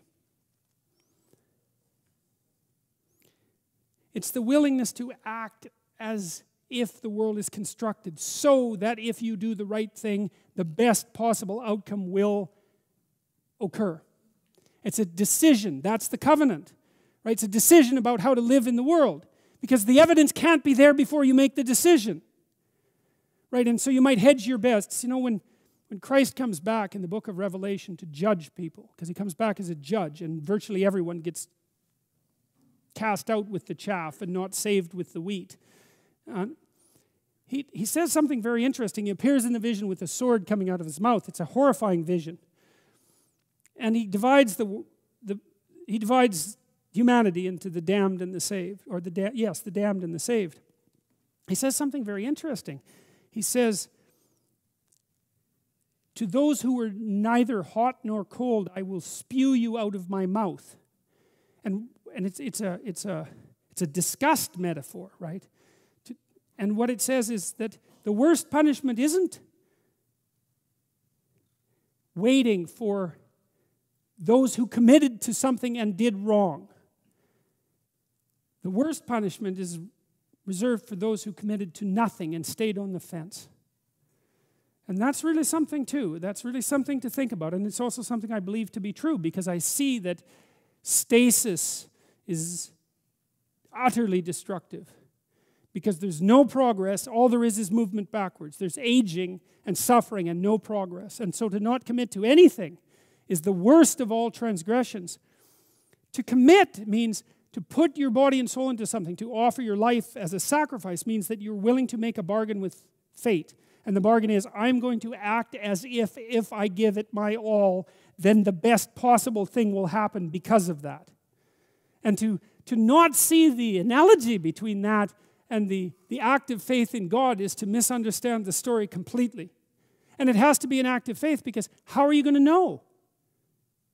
You can look at other people, but that isn't going to do it. It's, it, Kierkegaard was very clear about this sort of thing. There's certain sorts of truths that you can only learn for yourself through experience. And that's, of course, why Abram also has to go out alone, right? He has to leave his kin. It's, it's an individual, it's the individuation process. Like dying, it's something that you do alone. There's no way you can tell what is within your grasp, let's say, unless you make the ultimate sacrifice. And there's no way of finding out without actually making it. And so that's the sacrificial act, right? That's, that's re emphasized in the act of Abram being called upon to sacrifice Isaac. Think about that. It's Abram. He's been doing, he's been like breaking himself into pieces, trying to progress forward through starvation and tyranny and war and deceit and the potential loss of his wife and childlessness and like everything that can really befall you in some sense. And finally, God grants him Isaac when he's old. It's impossible. He gets Isaac, his son. And then what does God do next? Is say, well, you know that son that you've been waiting for so, for so long? It's like, I'd like to see just exactly what you're made of, so I think you should offer him up as a sacrifice. And I mean, it's a very barbaric story in, in a sense, and maybe in more than just a sense. But Abraham does maintain his covenant. He's willing to make the sacrifice. He's willing to make, this is the thing, he's willing to make whatever sacrifice is necessary to keep his covenant with God intact. And that's that. And that's the decision. Well, maybe it's no surprise that people don't do that. And he believed in the Lord, and he counted it to him for righteousness. And he said unto him, I am the Lord that brought thee out of Ur of the Chaldees to give this land to you to inherit it. And he said, Lord God, whereby shall I know that I shall inherit it? And he said to him, This is a sacrificial story again take an eff, a heifer of three years, and a goat of three years, and a ram of three years, and a turtle dove, and a young pigeon. It's fairly specific, actually. And he took all these and divided them, and laid each piece one against another. But the birds divided he not. Now, there's a reason for that, and I don't know the reason for it. And when the fowls came down upon the carcasses, Abram drove them away. And when the sun was going down, a deep sleep fell upon Abram, and lo, a horror of great darkness fell upon him. That didn't mean he was afraid of the dark, which is what I thought it meant when I first read it. It isn't what it means. It means that he fell into a trance or something like that. And then he was enveloped by absolute horror. So that's how this story begins. And here's the commentary from Joseph Benson, who was an English Methodist minister who lived in 1749, was born in 1749. And when the sun was going down, about the time of the evening, evening oblation, the washing, for he abode by them, praying and waiting till toward evening, a deep sleep fell upon Abram. Well, this was not a common sleep through weariness or carelessness. I don't know what a sloop is, that's supposed to be sleep. Not a common sleep through weariness or carelessness, but a divine ecstasy that being wholly taken off from things sensible, he might be wholly taken up with the contemplation of things spiritual. Well, it really makes you wonder what Abraham was up to in his campsite. So, he was participating in something that enabled this experience.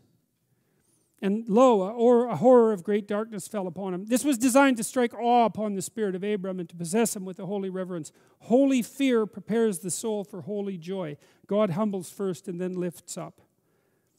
Echoes of psychedelic experience. And he said unto Abram, Know of a surety that thy seed shall be a stranger in a land that is not theirs, and shall serve them, and they shall afflict them four hundred years. And also that nation whom they shall serve I will judge and afterward shall they come out with great substance. And thou shalt go to thy fathers in peace. Thou shalt be buried in a good old age. But in the fourth generation they shall come hither again, for the iniquity of the Amorites is not yet full. Commentaries of Joseph Benson, once again. They shall come hither again, hither to the land of Canaan, wherein thou now art. Now art. The reason why they must not have the land of promise in possession until the fourth generation is because the iniquity of the Amorites was not yet full. The righteous God is determined that the Amorites shall not be cut off till they arrived at such a pitch of wickedness. And therefore, till it come to that, the seed of Abraham must be kept out of possession. So the interpretation of the story essentially is that Abraham's descendants will end up enslaved in Egypt for a long, a lengthy period of time, and eventually come back to the land of Canaan. And it's interesting too, because this is part of Abram's bargain with God. And in this divine vision, I mean, he's been promised everything. But it's a pretty tough bargain because, you know, when, when, when God is pushed or reveals himself, let's say, he says, look, you're going to get your damn descendants, you know, but it's not going to be, uh, it's, it's, it's, it's going to be a tough journey. They're going to be enslaved for a very long time and eventually come back. And you won't see it. You'll be dead long before then. And so it's a realistic promise in a sense. And you might say, well, Abram is so de desperate to keep the faith that he's willing to read good into what isn't good. But I think, I, think, I don't think that's the right way to look at it. I think the right way to look at it is that the people who wrote these stories were very realistic and they knew that even if things turned out well for you, I mean, it was still going to be real. You know, it wasn't going to be some fantasy. It's like, let's say you have a family that flourishes. It's, people are still going to die. They're still going to get sick. They're, they're still going to have they're still going to be alive you know with all of its suffering but it'll be the but it'll be a life that's rich enough and complete enough so that it'll justify its its nature essentially and so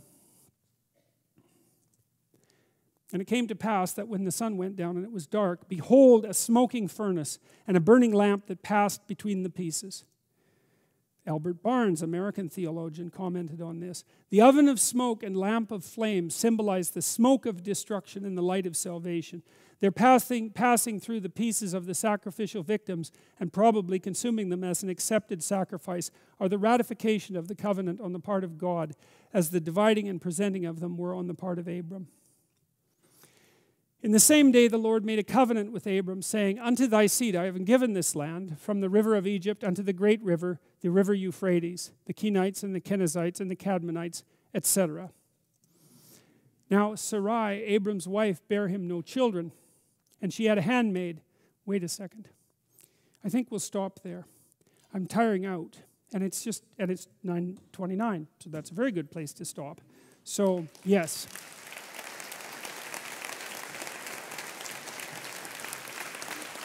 So, so I should I, I should close properly and just sum up. So what happens here is that that Abram enters into a covenant with God to act in the world. And the action is an adventure story, essentially. And the adventures repeat, and they're, and they're punctuated by success and, sa- and sacrifice and recontemplation, right? And so it's this, it's this journey. It's the, it's the hero's journey uphill. I'm here, there's a crisis, I collapse, I reconstruct myself to a higher place. And life is like that continually. And that's the story of Abram. And, and that's all contained, though. It's all contained. And this is the thing that's so cool because that is what your life is going to be like, whether you plan out your life or not. It's going to be punctuated like that maybe it won't go up, maybe it'll go down. The question is, what sort of container do you need to be in in order to tolerate the movement up and down? And that's what the story of Abraham provides. It provides a, it provides a description of the covenant. That's like the ark. The covenant and the ark are the same thing, right? Except the covenant is the psychological equivalent of the ark. And the covenant is have faith in the structure of existence and go forth. That's the covenant. And the, and the story is that's the best possible solution that you have at hand. All right. So I'm going to make a request with regards to the questions, which may mean you have to reorient yourself in the line. I would like the first two questions on each side, if possible, to relate specifically to tonight's lecture, and then I can, and then I can. Uh, address more general issues if that's, if that's okay. So, and I, again, I would like you to carefully speak into the mic so that the people who are watching can hear. Can you hear me? Yeah, I can. Uh, the story about Abraham uh, saying his wife was his sister, you referred to that as him making a mistake. I'm not quite sure I understand how you're reading that as a mistake, seeing as it was a very deliberate decision and it had a pretty good outcome for him, and he does the same thing a few chapters later. Yes, this is true. You see, I don't, I don't I don't feel that I've cracked that part of that story properly. Now, the reason I said it was a mistake is because it's clearly an act of deceit. And it, and it, and it does put the Pharaoh in a very awkward position, not to mention Sarai, by the way. Or How do you say that? I don't know how to say that. Sarai? Sarai? It's Sarai to begin with, yes? Is that right, Sarai? Yes, okay. And then it's Sarah. And that, so Abram means high king, something like that. And Abraham means father of the people, and Sarai means princess, and Sarah means mother of the people. It's some, I, I have it exactly right. I'll tell you next week, but that's part of the name transformation. The, the, it, it seems to me that at least in part, it's an indication of Abraham, Abraham's willingness to use a suboptimal solution when driven to it by necessity. I don't think it's a heroic act to pretend that your wife is your sister. Now, you know, and, and, and maybe you might say, well, it, under the circumstances, there was nothing else he could have done. But it, it does seem, it, I can't see how you can interpret it other than as a departure from the truth. The, the, but I, I know that that's not all there is to it, and it does seem to work out well for him. And my interpretation is that, well, if you're oriented properly in the world, the grace of God allows you a few necessary mistakes, something like that. Do you, do you have an alternative idea?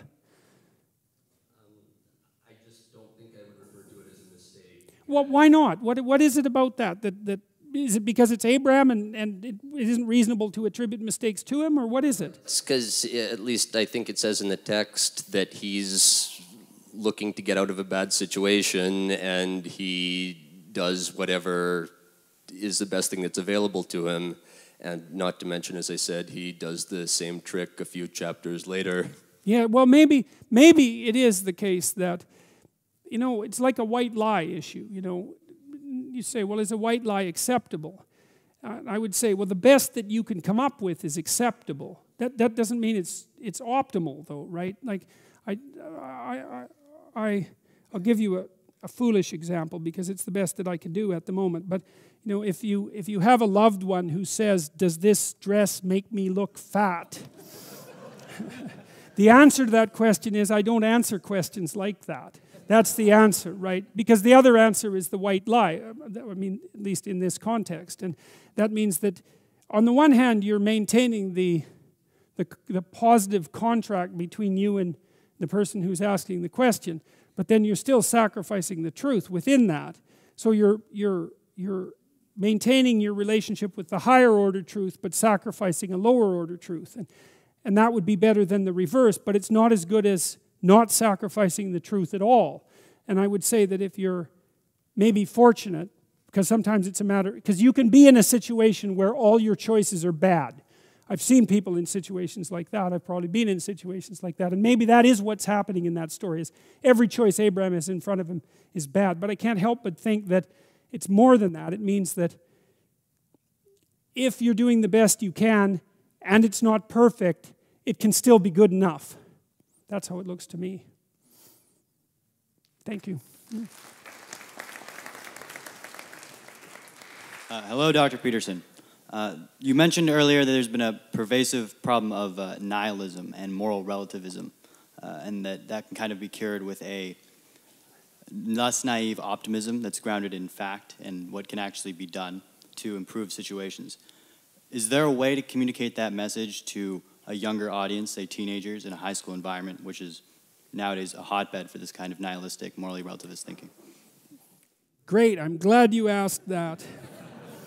so I'm going to tell you, I was thinking about saying this at the beginning, but I decided not to, but now I get to say it because I got this question, so that's so cool. Um, I, I have plans.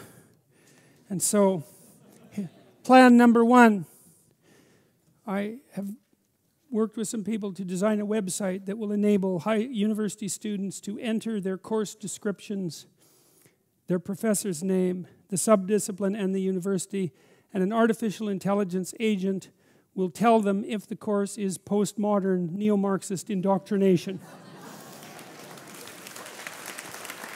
Not, not only, and I have made tentative arrangements with someone to finance a advertising campaign for that site. And so the goal is, well, to inform the consumer.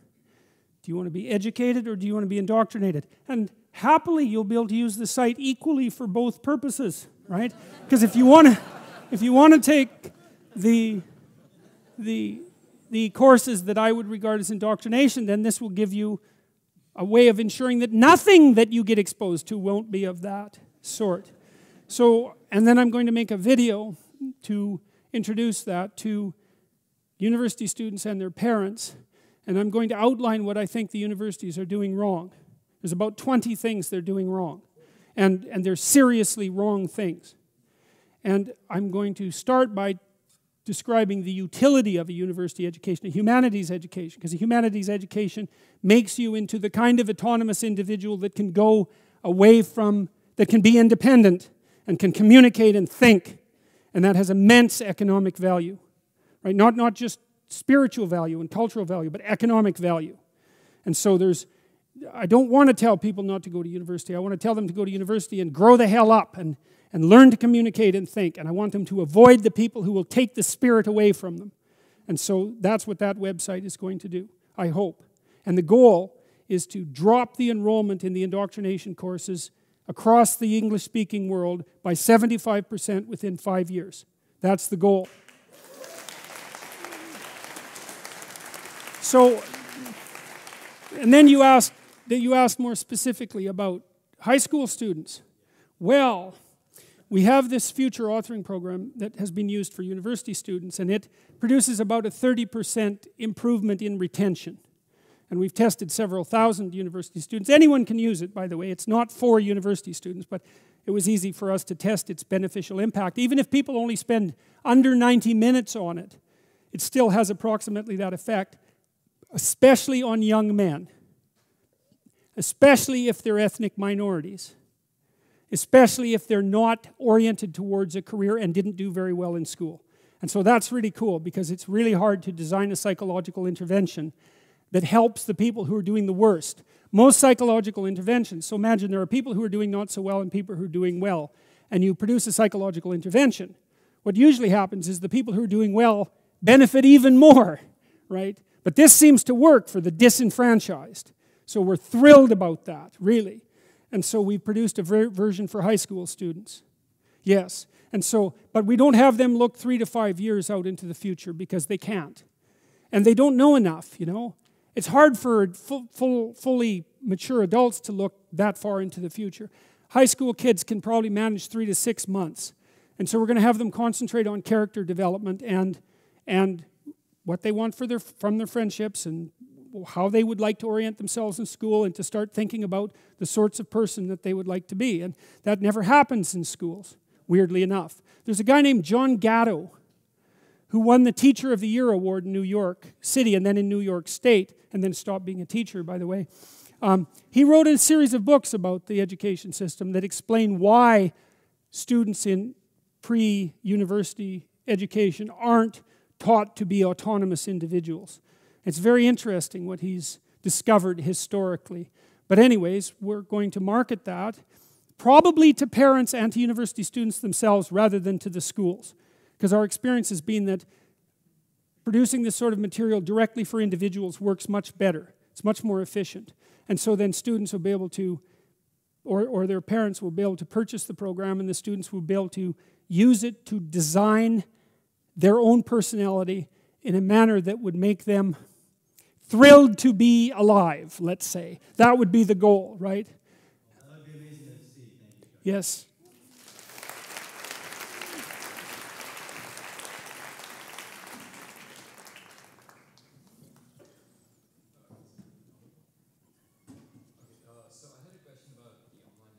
I'm, I'm going to get you to turn it to put it down a little more even. Excellent, perfect. Yes. Yes.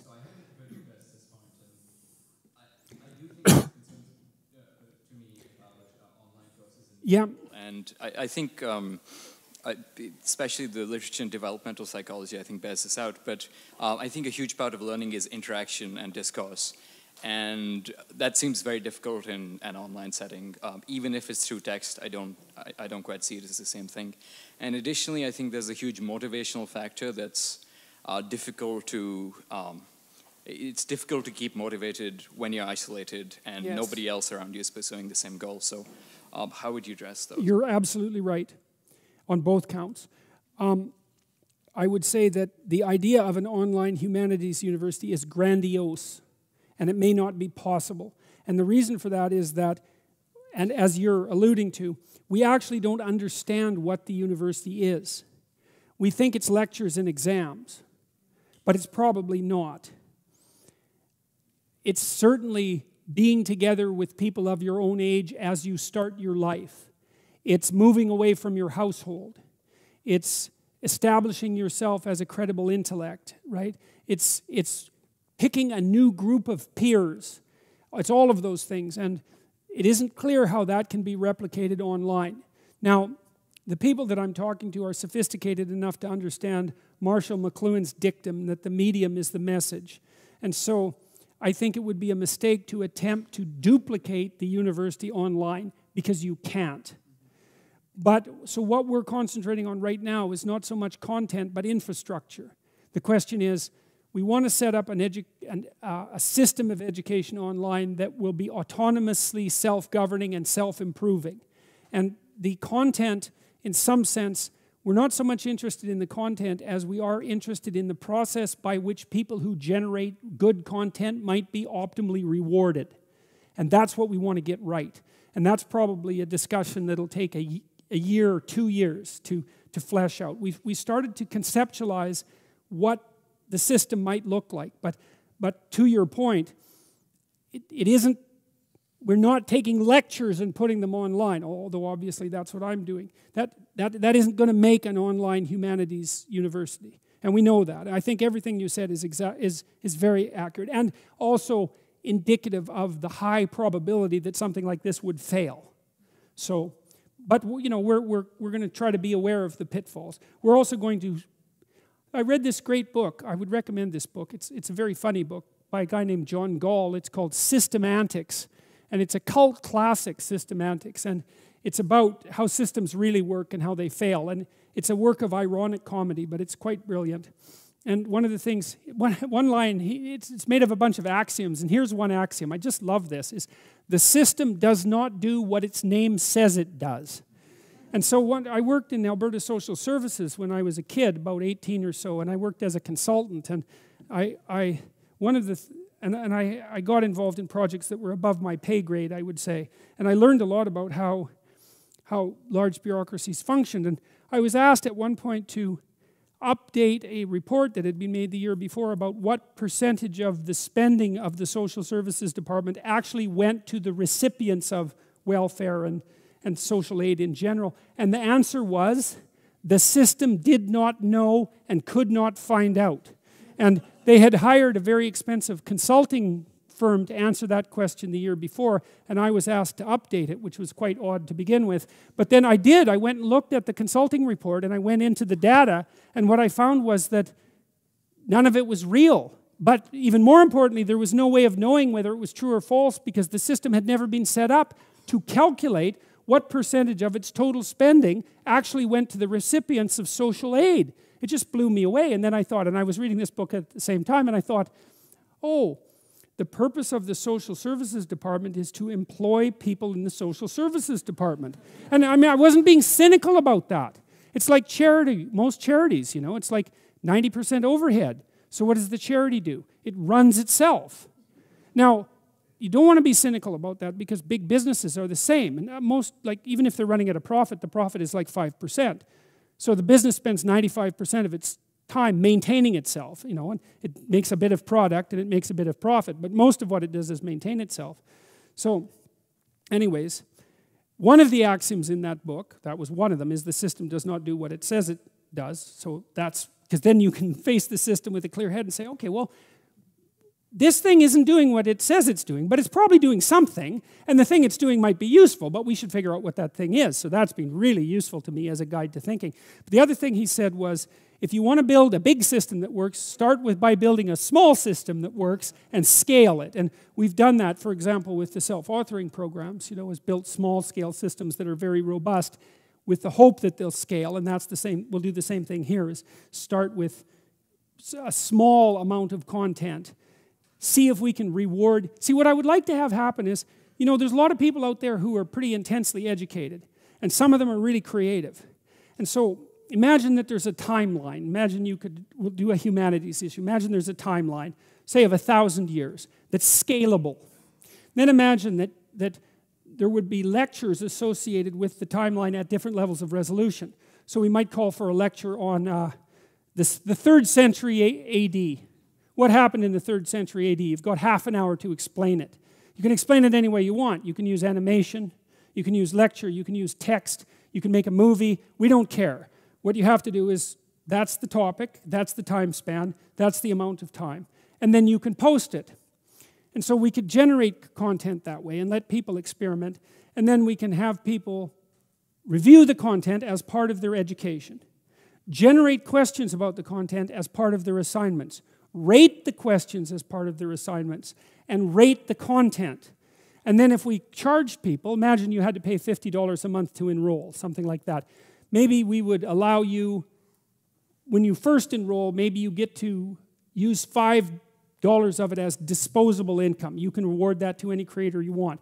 But as you progress through the courses, your right to determine where your money goes would increase as you became more and more educated. Hopefully, that way we would get some quality control built into it. So, those are some of the ideas that we're that we're starting to play around with. So, Uh, The only one I'm concerned about is the motivation. what, what's that? uh, the motivation issue for individuals. Um, Well, that I'm not going to go into that because it would take too long. But but rest assured that we are thinking about that very hard as well. We're going to build competition into it. We're going to build cooperation into it. We hope to build peer interrelationships into it. I think all that's possible, but but complex, right? Because it's we don't know how to build an online education system really. And but it would be fun to experiment and see if we can figure out how to do it. So thank you.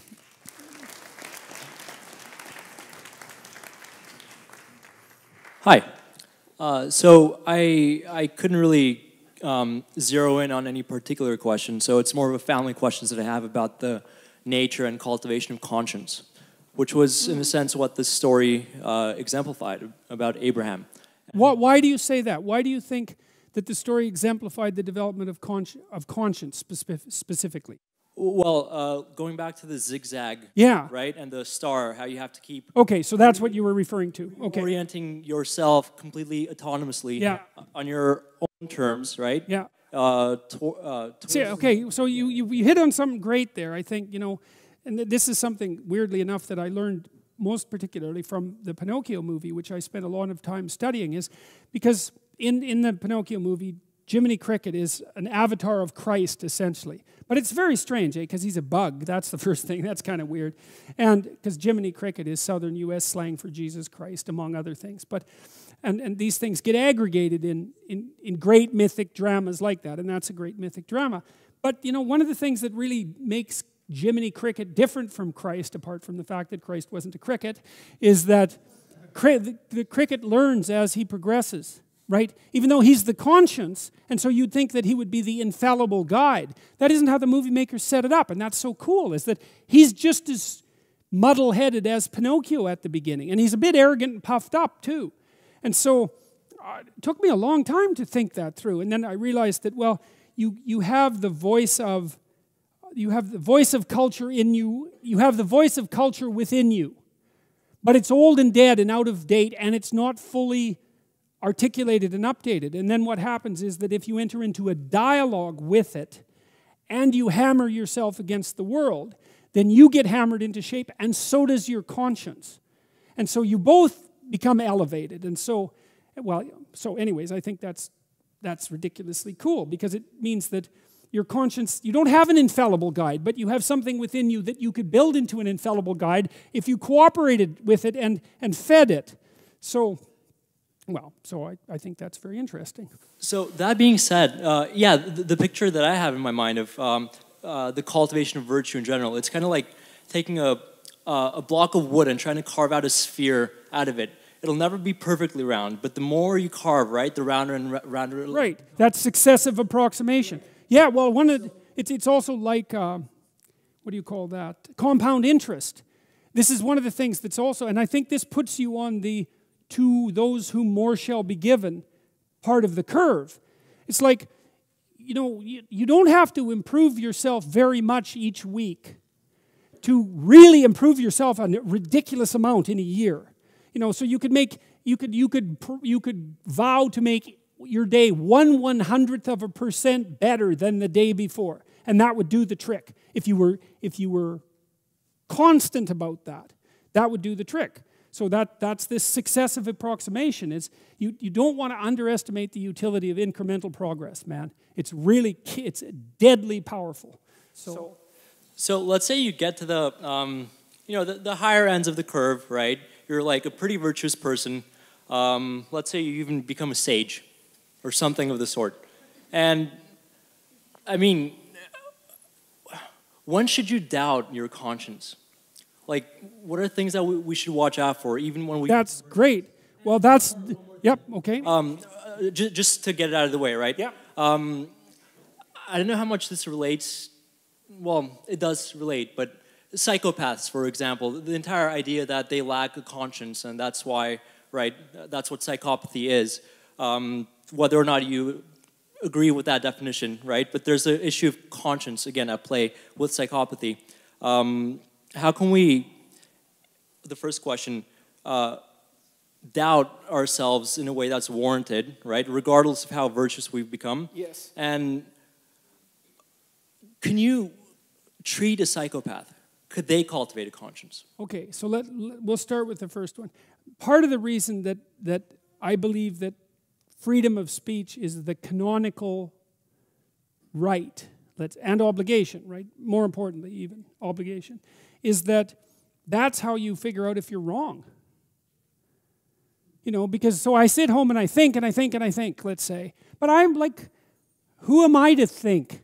There's so many things I don't know that it's it's just there's the what I know compared to what I don't know is so minuscule that it's a preposterous act just to say something. Okay, so so no matter how much I sit at home and think, I'm not going to fix that. I'm going to be full, and then I have biases, but my temperament, and I have biases because of my malevolence, and I have biases because of my my gender, my sex, let's say, since we're not so fond of that word. Um, so I, no matter how much I sit home and think, I'm still going to be wrong and malevolent. So then what do I have to do is I have to talk to some other people and I have to say, this is what I think. And it's going to be ugly, you know, because what the hell do I know? But then if I listen, people will tell me why I'm wrong. And lots of people have been telling me why I'm wrong, like a lot. And it's hard, you know. It's hard. But it's but I've learned something from it. Like I, I had this revelation, let's say, about being yelled at by your father. Now I know that you can be yelled at too much by your father. But it's like, you're wrong, man. And so someone's yelling at you, and maybe they're only 10% right. But if you shut the hell up and listen, then you can figure out where you're wrong. And then maybe you can be thankful for that. And then maybe if you shut up and listened, your father would quit yelling at you. You know, because he's wrong too. What the hell does he know? He knows how to yell at you and tell you how you're wrong. And he's throwing things out you at you that are probably not true. But some of it's true. And you know, if someone can tell you why you're wrong, they've given you a great gift. Because then you don't have to be wrong anymore. And you might think, well, who cares if you're wrong? But you know, there's a line in the New Testament too is if the blind lead the blind, won't they fall in won't they fall into a ditch? The answer to that question, by the way, is yes, they will. And so the reason that you want to think is because thinking is how you like when you think you create a a, a, a, fictional world that's, that's an analog of the world, and then you make an avatar of yourself to act in that world. And then if the avatar dies, you don't act out those actions, right? Well, so if you think properly, then you don't have to suffer and die. And so if you can say what you think, and people can tell you why you're wrong, and you know, to say what you think under extreme circumstances means that you're going to say things that no one wants to hear. Because those are the things you don't know about. Those are the things that are conflictual and difficult. Those are going to be hard conversations, man. And you're going to be wrong about them a lot. If you don't get to stumble forward with your stupidity, then you can't be corrected. And so, so there's no distinction between free speech and thinking, and there's no distinction between thinking and thriving. And so those who want to inhibit free speech do not wish for people to thrive. And I believe that. So, thinking does not happen inside your head. That's only the beginnings of thinking. And it's this that we're doing here that's thinking, you know? So, we have to protect that. Psychopaths. I don't, I say this, I hope, non naively. Also, having dealt with psychopaths in my clinical practice, and I would say now and then in my life, I don't believe in psychopaths. I don't believe that we know enough to say there are people born without conscience. Um, I don't think the psychometric measurement of psychopathy is everything that it should be. I've been trying to model it in the big five domain. I think, now it's complicated because, so I would say a psychopath, a classic psychopath, is likely extroverted, especially assertive, disagreeable, and unconscientious, and maybe extremely low in neuroticism, so you can't frighten them. But, so that's a rare combination because it's extreme on many traits, right? But that I don't believe that that means that someone with that personality configuration is doomed from birth to a pathological existence because there's things about psychopathy that, that, the, that the classifiers, those who claim, like Cleckley, that the psychopath is born in some sense, can't explain. It's like, well, what about the cruelty? There seems to be a motive there. You know, they're passionless and they lack no, they lack emotion. Well, why are they cruel then? For entertainment? Well, but then you have to explain the entertainment motivation. Like there's a failure in some sense with the classic psychopathy theorists to come to grips with the problem of malevolence. It's skirted over. And you can't do that if you're talking about psychopathy. It's like malevolence is the bloody issue here. And so the other issue with the psychopath is that he's irredeemable, right? That's the idea. I don't think we know enough to make such claims. Now, and that doesn't, I know the psychopathy literature quite well, and I have great respect for the primary researchers in the field. I want to make that perfectly clear. But we're talking at a different, we're talking, we're approaching the problem from a different level of analysis here, something like a spiritual level of analysis. And I don't think that there's an easy, easy translation from the descriptive psychometric, psychiatric approach to the spiritual level. They don't match. And I'm more likely to say, let's not assume the soul is doomed from birth, right? And I'm, I'm loath to think that there are people born irredeemable, although I do think there are irredeemable people. You know, the, the death penalty issue is interesting in that regard, you know, because I've read a lot about really terrible people. And I've also read a lot about what really terrible people said about themselves. And many of them wished for the death penalty. And so it's absolutely clear that there are things that you can do that deserve the death penalty. But that doesn't mean that the state should have the right to impose it. That's a different question. So, yeah.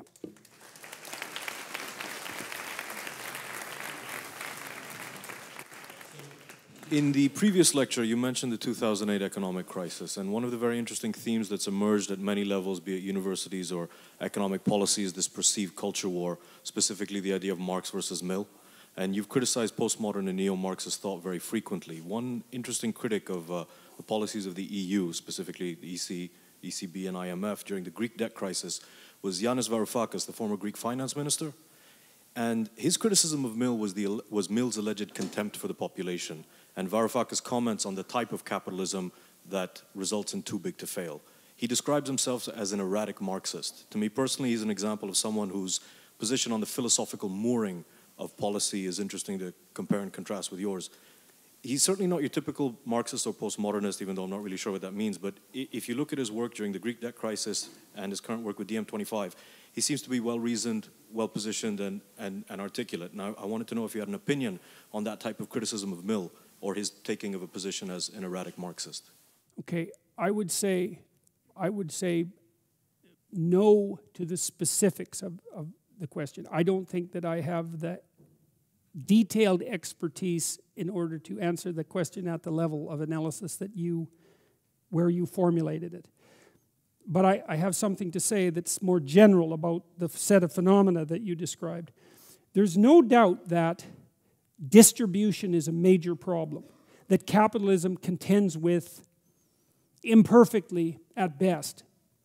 And the distribution problem is the Pareto distribution problem, right? And, and something that Marx commented on, which mostly in the monetary sphere, is that money tends to accumulate in the hands of very few people. It's like there's no doubt about that. Now, as we've discussed before, the people in whom hands the money accumulates do turn over more than people say, think especially in, in, in countries that are functioning reasonably well. And it's really important that that happens. Yes, yes, yes. But that doesn't, that doesn't solve the problem of the fact that produced goods gravitate towards an extreme minority. Now, they're also produced often by extreme minority, which is also a problem. Um, I would say then that the idea that capitalism is more prone to that distribution problem than any other system, I don't believe that to have been demonstrated at all. And I think that capitalism is actually pretty good at self destruction, except when that's interfered with. And I think that's particularly the case in the United States, where generally the policy has been if you're an idol with feet of clay, no matter how big you are, you get to fail. Now, that's been compromised severely in the last 20 years.